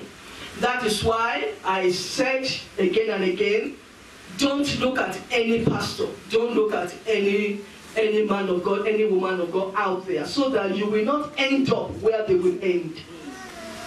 I'm looking at the time, uh, forgive me. Um, I'm very, very strong at the moment, but I will not leave this gathering without sharing an experience with you, especially with the singles and especially with the grandparents. Glory be to God. How would you know if this person is the will of God for me in marriage? How would you know? I will share my experience with you. Um, months before my husband proposed to me, I was hearing somebody telling me that is my will for you in marriage. I thought it was the devil speaking to me. I will rebuke the devil. If, as I was walking on the road, I will hear that is my will for you in marriage. I said, I rebuke you, Satan, in the name of Jesus. If I was on the bus, I will hit. Then I said to myself, excuse me, who is this man, by the way? And I said, God, I'm, I don't know this man from Adam. Am I lost in or what? And I couldn't tell anybody. So the, the thing went on and on and on for months. And this particular Sunday morning, um, I was brought up never to go to church late. So I already got dressed and, and, I looked at my time. Oh, I still have a long time. So I decided to lie down and relax. And the Lord took me into a trance. And there, I saw my husband. There was, um, you know, a torchlight, but in a bigger form. It surrounds her, um, it surrounds his head to single him out of the crowd. And uh, I saw that. And the Lord woke me up here. I said, God, I've seen him again. I was tired. I've seen him again. What do you want me to do? Well, time was going, so I went to church. When I got to church, I saw this man the same way I saw him in the same suit before I left my house. I said, God, what is happening here? And I made up my mind to run away immediately after sharing the grace. But I couldn't run away because there was a message for me from a brother on a wheelchair. So when that brother came to church, they would have to wheel him to the front. So I, sitting at the back with the intention to run away after the grace, I realized I have to mingle with the people to go and see Brother Akiremi in the front to get the message. And as I was about going, my husband came to me and said, excuse me. Do you know that excuse me I had? I nearly fainted because I've been going through this for months and I saw this man this morning for him to come to me and say, excuse me. So he actually, I said, me? He said, yes, you. He took me to one corner of the church, inside the church, people were still around.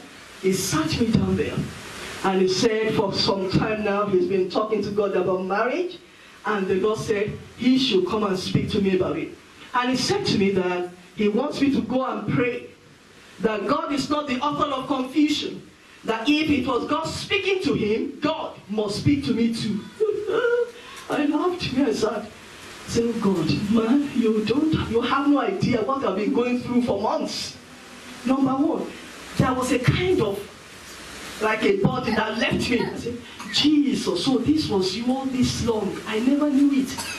There was a kind of joy and a kind of peace that bombarded my heart. I felt like flying away. I said, my God, this is you. Now, something happened. I did not delay replying him. Two weeks after he spoke to me, I just dropped him and said, Bro, I believe this is God. Before the devil changes his mind, praise the Lord. Some people, they are too spiritual. They want to wait for months to reply him. God has been speaking to you, and this person, God has been speaking to him. Now, God there was a kind of divine connection and you want to make young younger to show him that you are so spiritual. I didn't do that. I was real to myself. Praise the Lord. There's a lesson for you to learn there. And because of senior brothers that want to query your choice in marriage, you need to be very sure that this person is from the Lord. Because some pastors or some senior elders may say, oh, they don't deserve one another. That this man doesn't deserve this man as a husband. This man doesn't deserve this wife as his wife. Without them asking questions about your testimony on how you met each other. So that is another area you need to look into. Be very sure. Because of people that will oppose your relationship tomorrow. Praise the Lord. Praise the Lord. We have just two more questions. Yeah, two more questions. The first one is, he said, what will you do if you went as far as going back home to bring your husband here? And as soon as the man got here, and he's gotten his papers, the man is now beginning to uh, find excuse. What will you do in that uh, scenario? Was it a marriage in the first place? Or was it a, a visa to come to the UK? Any, I don't want any side comments. If you have anything to say, just hands up and I'll bring the mic to you. Anybody from the pew? Yes. No, no, no, no.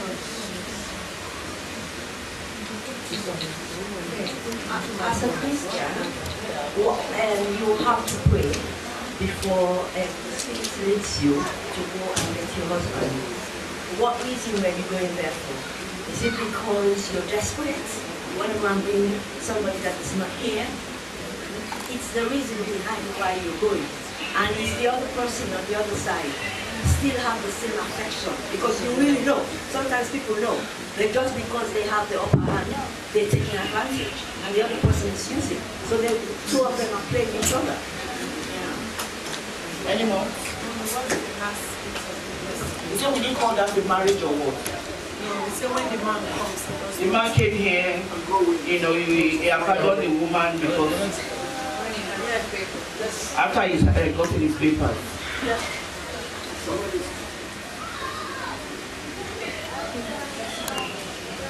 Praise the Lord. I'm sorry for coming late. There's, there's something I want to go on that. Um, I don't like when people are watching me. Um, the issue here is, um, I think marriage is a ministry where you have to nourish it all the time. Because I understand there are some women who abuse it, some men who abuse it. And there are some women, when they want a man, they will do everything to get that man. And I strongly believe a woman is supposed to be attractive to the man at all times in marriage. It doesn't mean because this man was suffering in Africa, you went and brought this man. And now because you you brought this man in Europe, you're living in England, and now you cannot even do your, you cannot, going out, you, you're going out with a man, and this man is seeing another lady is looking beautiful, nice hair, nice dress, and you are just coming, you're going to party with pajamas. I'm talking, listen, there's something that will do, look marriage, I've been in this thing for so many years, I'm talking about. So you have to nourish these things. And yes, this man can also abuse it. For reason we don't know. But there must be a reason. Uh, I strongly believe when the when there's an issue in the house, there must be a foundation of an issue. There must be a foundation of that issue. If that woman is complaining that this man is looking outside now, there must be an issue. And I believe in communication. Where have you done the communication to retract this man back? So, uh, do you think I'll finish? Are you rushing? yes, mommy. Uh, there's one thing I want to, I want to, uh, because I really came late. Um, if you look back in the days of our big grandparents, No, we need to finish this. I, I just want to come back. And because I know you'll be attending seminars and all whatnot on marriage, you have to stop talking. Marriage to me, they should not be issuing marriage certificates. They should be issuing the attestation. Then, because give them some time to be in that marriage before they go back to the council and get certificates. Are you trying to understand what I'm saying? Marriage to me is they should for the first time people are getting married, they should give them an attestation. Provision. Pro- give them some time before they give issue the issue of Praise marriage the, certificate. praise the Lord. Praise Think about think about what I've said and you Praise the Lord. Praise the Lord. Yes. I think somebody wants to say something. Ah. Praise the Lord. Hallelujah. I think concerning this question that this question that is being raised about getting married and then bringing your husband or your wife from Africa and then bringing the man here and the man It's like going to abandons, fight. abandons you or whatever. And, and for me, I'll say when the person says abandon, I don't I don't know in what terms because sometimes you're in a you are in a relationship, you are with somebody, you are courting, you are going out, and you as a woman, you are doing everything for that man. And then you suddenly get married and you expect that man to, to start doing what he wasn't doing before. When you have been footing the bills, you have been doing everything, and suddenly after marriage, or maybe you now expect the man to start doing what you have been doing. For me, I would say whatever it is you want, you have to let you have to start your foundation the way you want it. If me as a woman, I'm getting married and I'm doing everything for that man just because I want him to marry me, and after marriage, um, the, the man obviously the man still expect me to continue doing what I'm doing, and if I'm not and if I'm not doing it, I'm expecting him to do it. He's not doing it because he's not used to doing it. I've always been doing it, and then when he does not do it, I pick offense. But I've been doing it. So what I would say is that whatever you cannot deal with, whatever you cannot swallow, don't take it. Don't take it. If don't start it, yeah. If you cannot swallow it, don't start it. If you know this man, like you bring the man from Africa, you you that man is in Africa, he's not you. He doesn't know how difficult it is here. You make him feel like this place is a bed of roses. You send money every time to him. You don't tell him the basics. He doesn't know anything. When he comes here, even with this cold weather, he wouldn't want to work because he will think, oh, this one, every week you send me two hundred dollars now. Why will I now be here and, and don't work? So in such si- situation, when the man abandons you, it is your fault. When you are going with somebody, let, let that person know what you can take and what you cannot take. Praise the Lord. Praise the Lord. I think uh, Praise the Lord.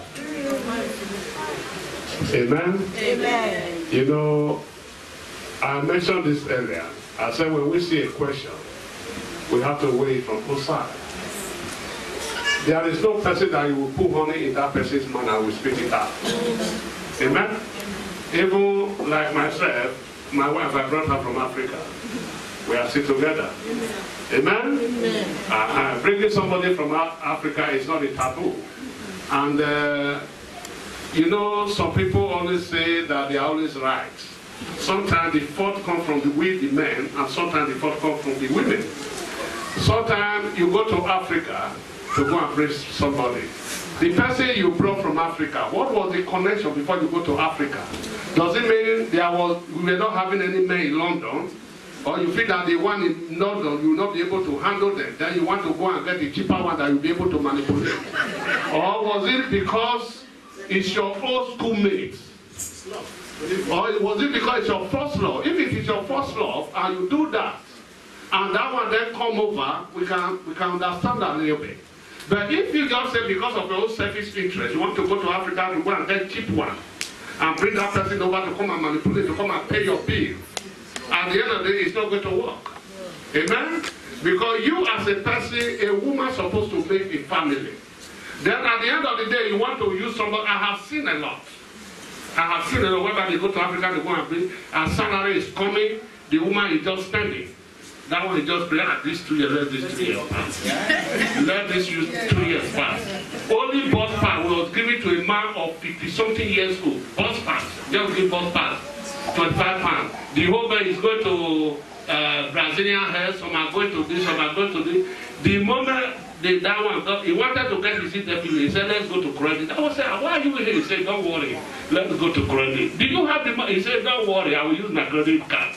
They went to credit. The moment they stamped that thing on his passport, both of them took, took a different bus to Basco as he was coming.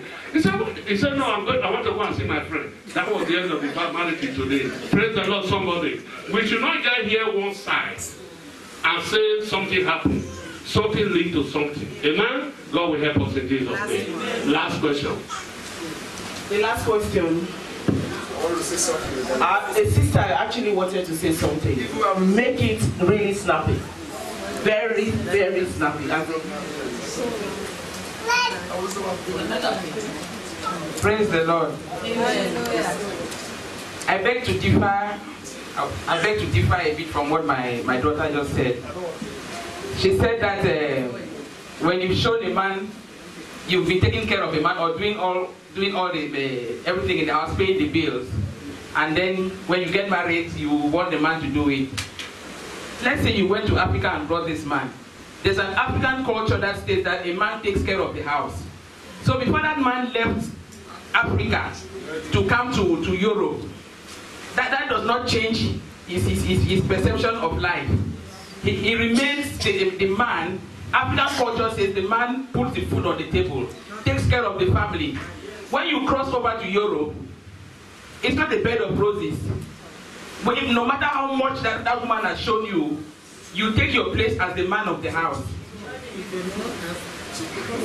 Because, because, he, he, he just came and, and, and, he, and he didn't have the he, he didn't have the resources. If he's got the resources, there is no reason why he, he, he should not do it. Praise the Lord. Praise Master Jesus. The last question is. It's a shame that uh, you know all these questions are kind of uh, they are all hanging because we do not want anybody to know who has written what. It's difficult to get to the bottom of it. So we're going to leave everything hanging. And you know, the more you probe it, the more you end up without a kind of an answer. Sort of. Last but not the least, it says you are married and born again Christian. Is it okay for you to use sex toy to enhance your love making? Praise the Lord. Praise the Lord. Doesn't matter. Okay. Is there anybody, anybody from the floor? floor?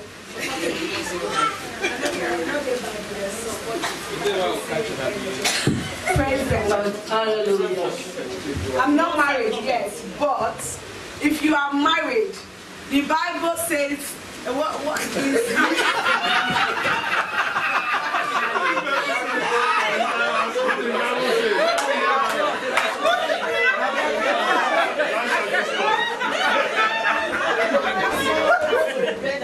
Yes, God my mom. My mom has said what the Bible. But if you are married, is your man. You are, you are, you are always, you enhance that thing. and Whatever helps you, whatever helps in the bedroom, let it help. A, a, a good, a sweet, a, a wife that is pleased is a happy home. Whatever it is that is good, whatever is that Praise the Lord. Praise Master Jesus. This is actually a very hot one. Praise the Lord.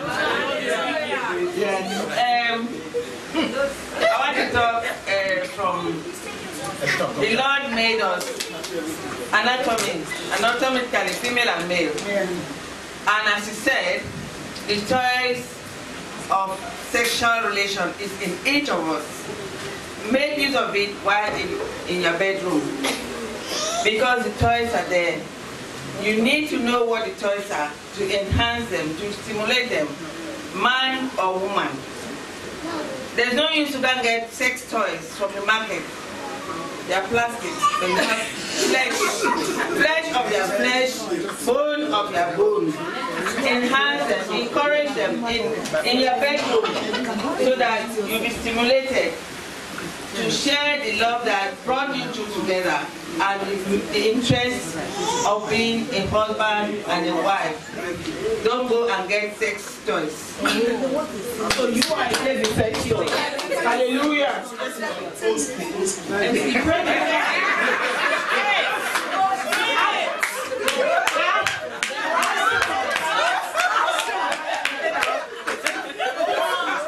the benefit of these young people, I'm over 50, 60 years, okay?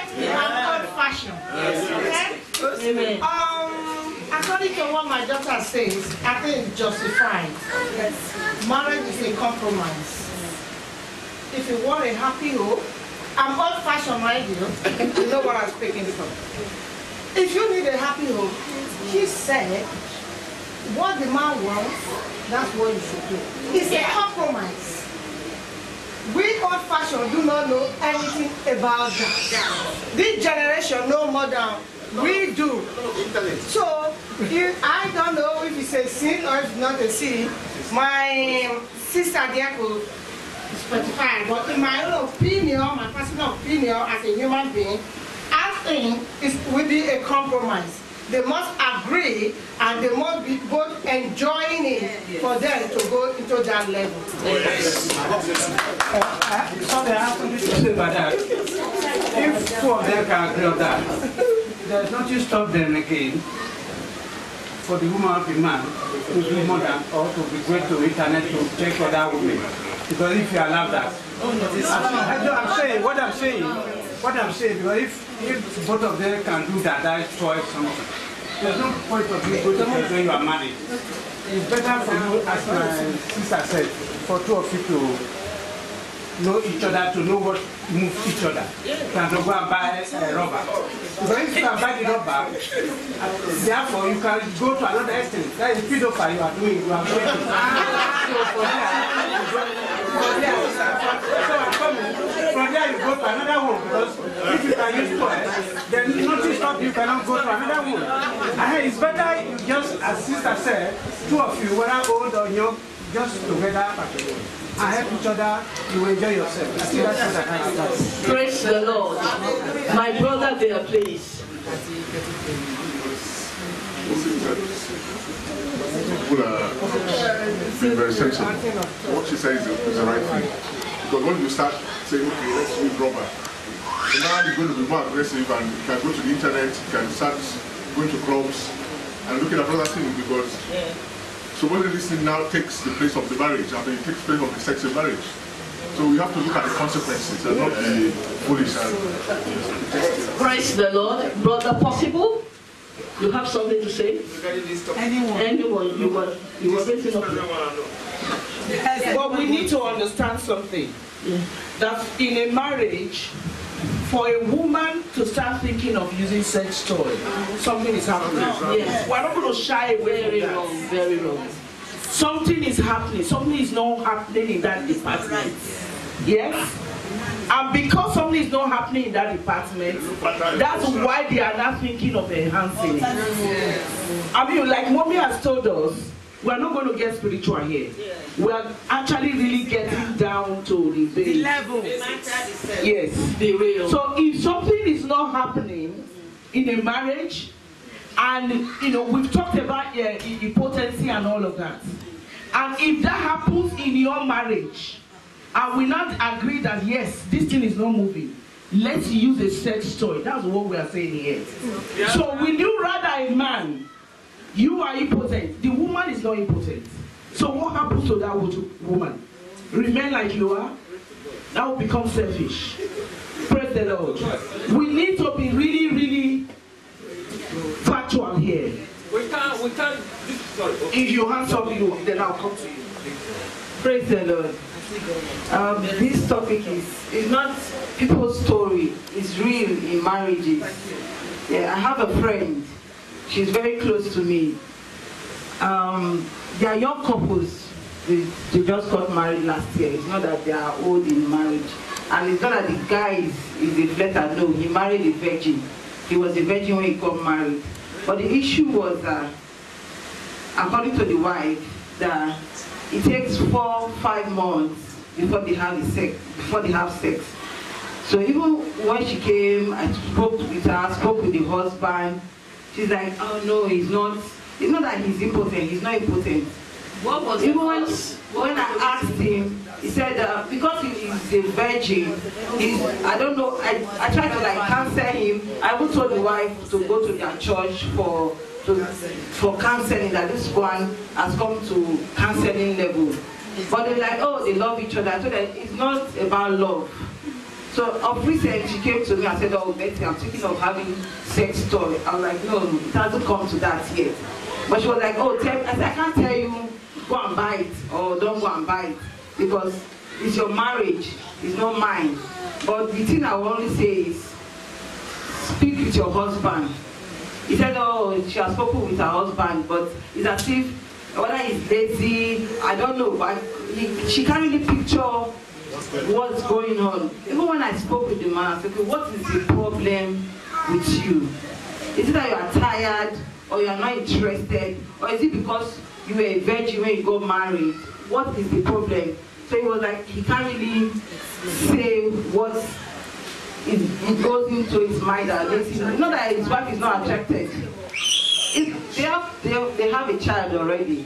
But it's not that his wife is not appealing to him. He doesn't really know why he doesn't have the interest. Praise the Lord. Praise the Lord. Final say on this question. I want to answer that, that part. Okay, you want to answer? Yes, I want to answer that Finish. part. This is the last question. Yeah, I want to answer that part. Yeah, um, praise the Lord. Uh, what uh, Sister Becky just said, to be honest with you, I had a colleague because the same question, a problem. There are some ladies, there are some ladies after birth.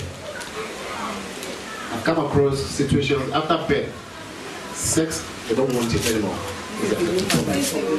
I'm coming, man. And with that man, because it's an issue now, it's an issue between the man and the woman. Maybe that guy is not telling the, wife the truth. That boy must have an issue. But it's not telling, it's not coming out because maybe he's having he's having a medical issue, which is not want- is not is not willing to tell the woman. He's not willing to tell the woman, and that is the problem. That because if the if the woman because you said something about they are not having it, they are not having it all the time. But I'll, I'll tell you, if the guy was a virgin before getting married to this woman, and we said something about uh, Pastor Christy said something about um, if you're married and uh, the man is impotent or the woman, the woman don't is not able to give birth. I think if the man is impo- if the man is impotent but they enjoy themselves, if the woman is unable to have children but they enjoy themselves, there's not an issue with, uh, with that. But I want to tell you now, that guy has he has got an issue. He has got an issue, and he's hiding it from that woman medically. Yes, I'm talking as a man. Yes. Praise the Lord. Praise the Lord. Can I just say something concerning that? Um, just uh, like what our brother said, sex is something that starts from the brain, from your mind.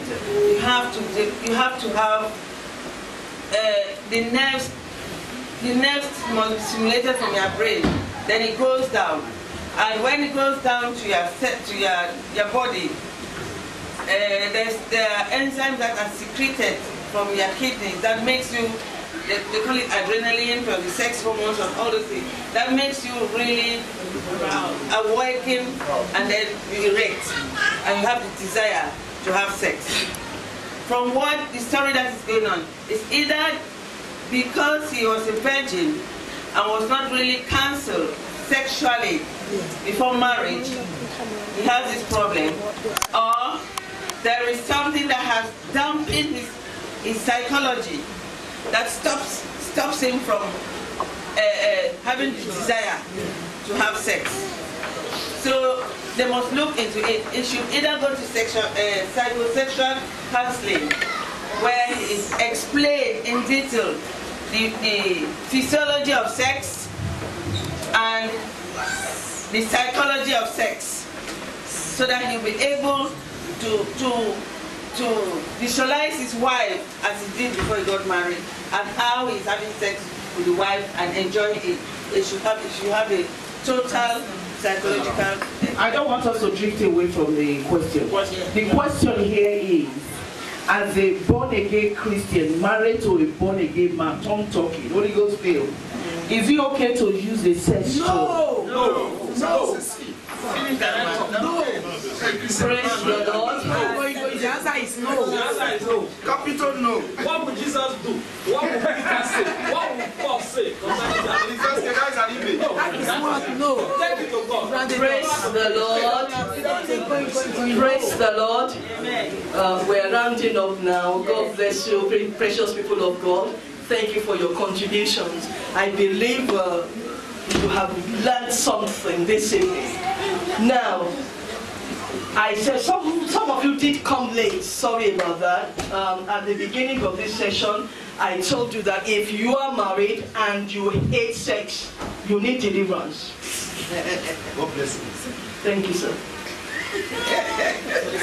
You are married, you hate sex, you need deliverance. Please see the man and the woman of God.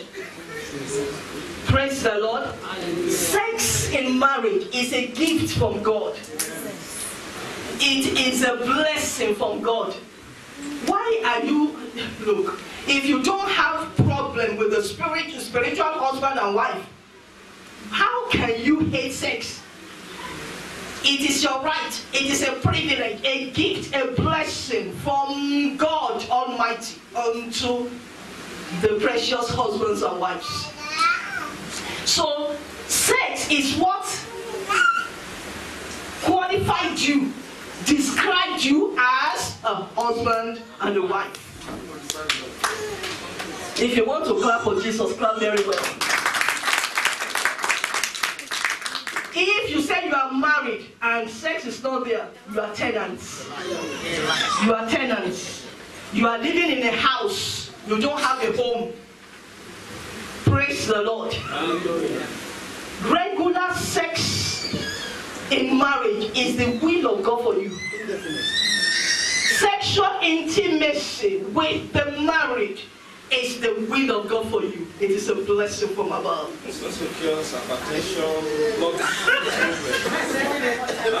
Husbands and wives, be romantic.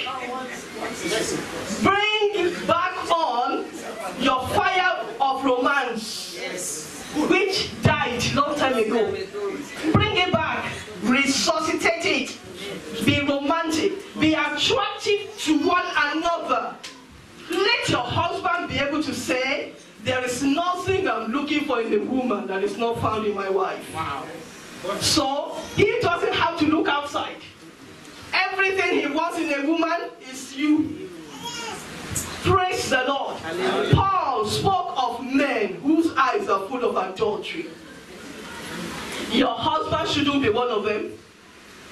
Praise the Lord. Hallelujah. Look, when a husband is so loving, look, all that my sister needs is to be sure, to be to, to be able to testify that I know my husband loves me. That's all she needs. She will make sure she builds that home.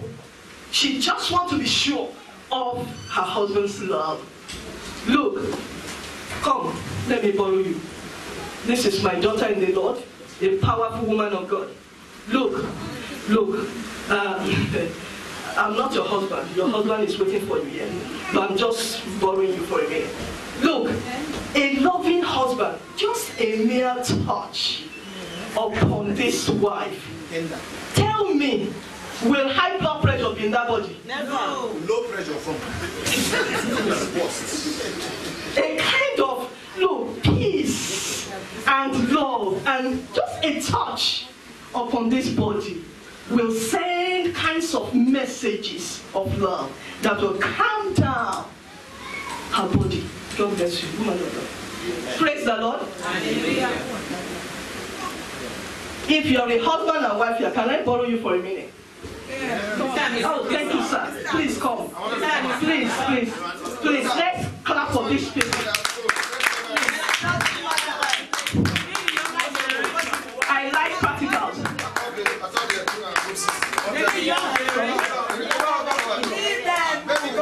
Down. Mr. and Mrs. Please. Please come. Face them. Woman of God. God bless you. Now, if you look at Papa's chest, please, please, let's pay attention. If you look at Papa's chest, it's so flat and boring. Yeah, all men's chests are like that. But if you look at the woman of God's chest, if you look at her chest, it's wonderfully, divinely designed. If you look at her chest very well. Now, the Holy Spirit said that your pillow is here. Your pillow is in between her breasts. Yes. The Holy Spirit said, I didn't say it, I didn't write the Bible, I only wrote this book. Seven satanic weapons against marriages. You know, some men, uh, sometimes their heads, their minds are everywhere. But at night time, where there is love, where there is care, where there, where there is affection, and Papa wants to sleep, even though his head, his mind, so immediately he applies the heavily designed pillow by God. Give him two minutes. He's snoring away. Glory be to God. Let's clap for Jesus. Try it tonight. If the type of love I'm talking about is existing between you and your wife, try it. Now, precious woman, when Papa is snoring, you now carefully, gently withdraw his head from your chest on the artificial pillow so that in the morning you wouldn't wake up with chest pain. Glory be to God in the highest. God bless you. God bless you. Praise the Lord. So what am I saying? Please be real to one another. And where your sexual urge as a man is higher than that of your wife, come to an agreement. Sit down together. Uh, the, the sexual urge of the woman is escalating, but that of the woman is in the middle. Come down together and agree. Make an agreement. What shall it be? How should it be? How many times in a week? Praise the Lord. And stick to it. Stick to it. Regular sexual intimacy in marriage is the will of God for you. And I said to you, singles, please, if you are single, don't go there. Otherwise, you'll be playing with hellfire. Sex is not for singles. It is not for boyfriend and girlfriend. It is not for people who are dating or who are courting. It is only for the married. And I said, God is not going to change his word because of you. You don't say because it is winter. As a result, you are sleeping around and you are in the church. Praise the Lord. So at winter time, call your landlord to service your radiator. Call your landlord to fix your heater. Praise the Lord. He, she that is born of God does not commit sin. Praise the Lord. If you have, if you have got a copy of my book, let me see your hands up. And if you have not, this is another opportunity for you to grab a copy. Amen. If the people of God will comply with the simplicity of the information of this book, you will no longer endure your marriage, you will enjoy it. Praise the Lord. Now, coming to uh, sex toys. If you are a believer, I'm not talking about Christians. If you are a believer, if you are a Christian, you can. Order, order. Please listen. If you are a Christian, you can afford to be and to live like the people of the world. But if you are a believer, how can you compare what God made with what a man made? A ordinary plastic. How can you compare that with the real thing? Made by God Himself. For believers, sex toys at any given time is not expected from you. It is unacceptable if you are a believer. Praise the Lord. Praise the Lord. So please, if you are married and you hate sex, I beg you, see the man and the woman of God for deliverance. You have problems with spiritual husbands and spiritual wives. You need to be delivered. Praise the Lord. That is the will of God for you. Yes, sir. Just one more question. Yes, sir. I'm just trying to, if, if, um, if we are kicking against sex toys, the same, why is it that women also, like African women in particular, why are they not managing their natural hair? They buy Brazilian hair or whatever to beautify themselves. The beauty that God has made, why are they doing that to beautify themselves? My brother. I, don't- I just want to know because it's the same thing like the sex No, no, no, no. They are quite different. You know, when you wear, what do you call this one? Brazilian, Indian, Peruvian. Uh, there's Peruvian, there is Brazilian, there is uh, Italian, there is whatever. You, please, this is different from having sex talk. Why can't they keep their natural hair? Look, there are some issues that may not allow that. And we are under the mercies of God. Okay, for example, um, the Bible said that in whatsoever thing we do, we do it to the glory of God. If I am a, uh, a preacher of the gospel, when I they invite me here and there, when I step into the hall, these people of God, they, they will first of all look at me from my head to my toes. Before they can listen to me, they want to check me out first. So my, the, the Bible said, look, look at my dressing. Must be for me, must be to the glory of God. So it is my physical appearance, my spiritual inward relationship with God, which is more more important than the physical, but the physical also still matters. When somebody sees me, he can make up his, his mind to either listen to me or not. Amen. You see some ministers, the way they dress, in fact, they have preached the gospel already. Praise the Lord. So we come, I personally come under the mercies of God. But I will not compare my outward dressing, my outward appearance with sex toys. It shouldn't even be mentioned one time among the believers. Praise the Lord. Praise the Lord. It's offering time now, people of God. We have been fed,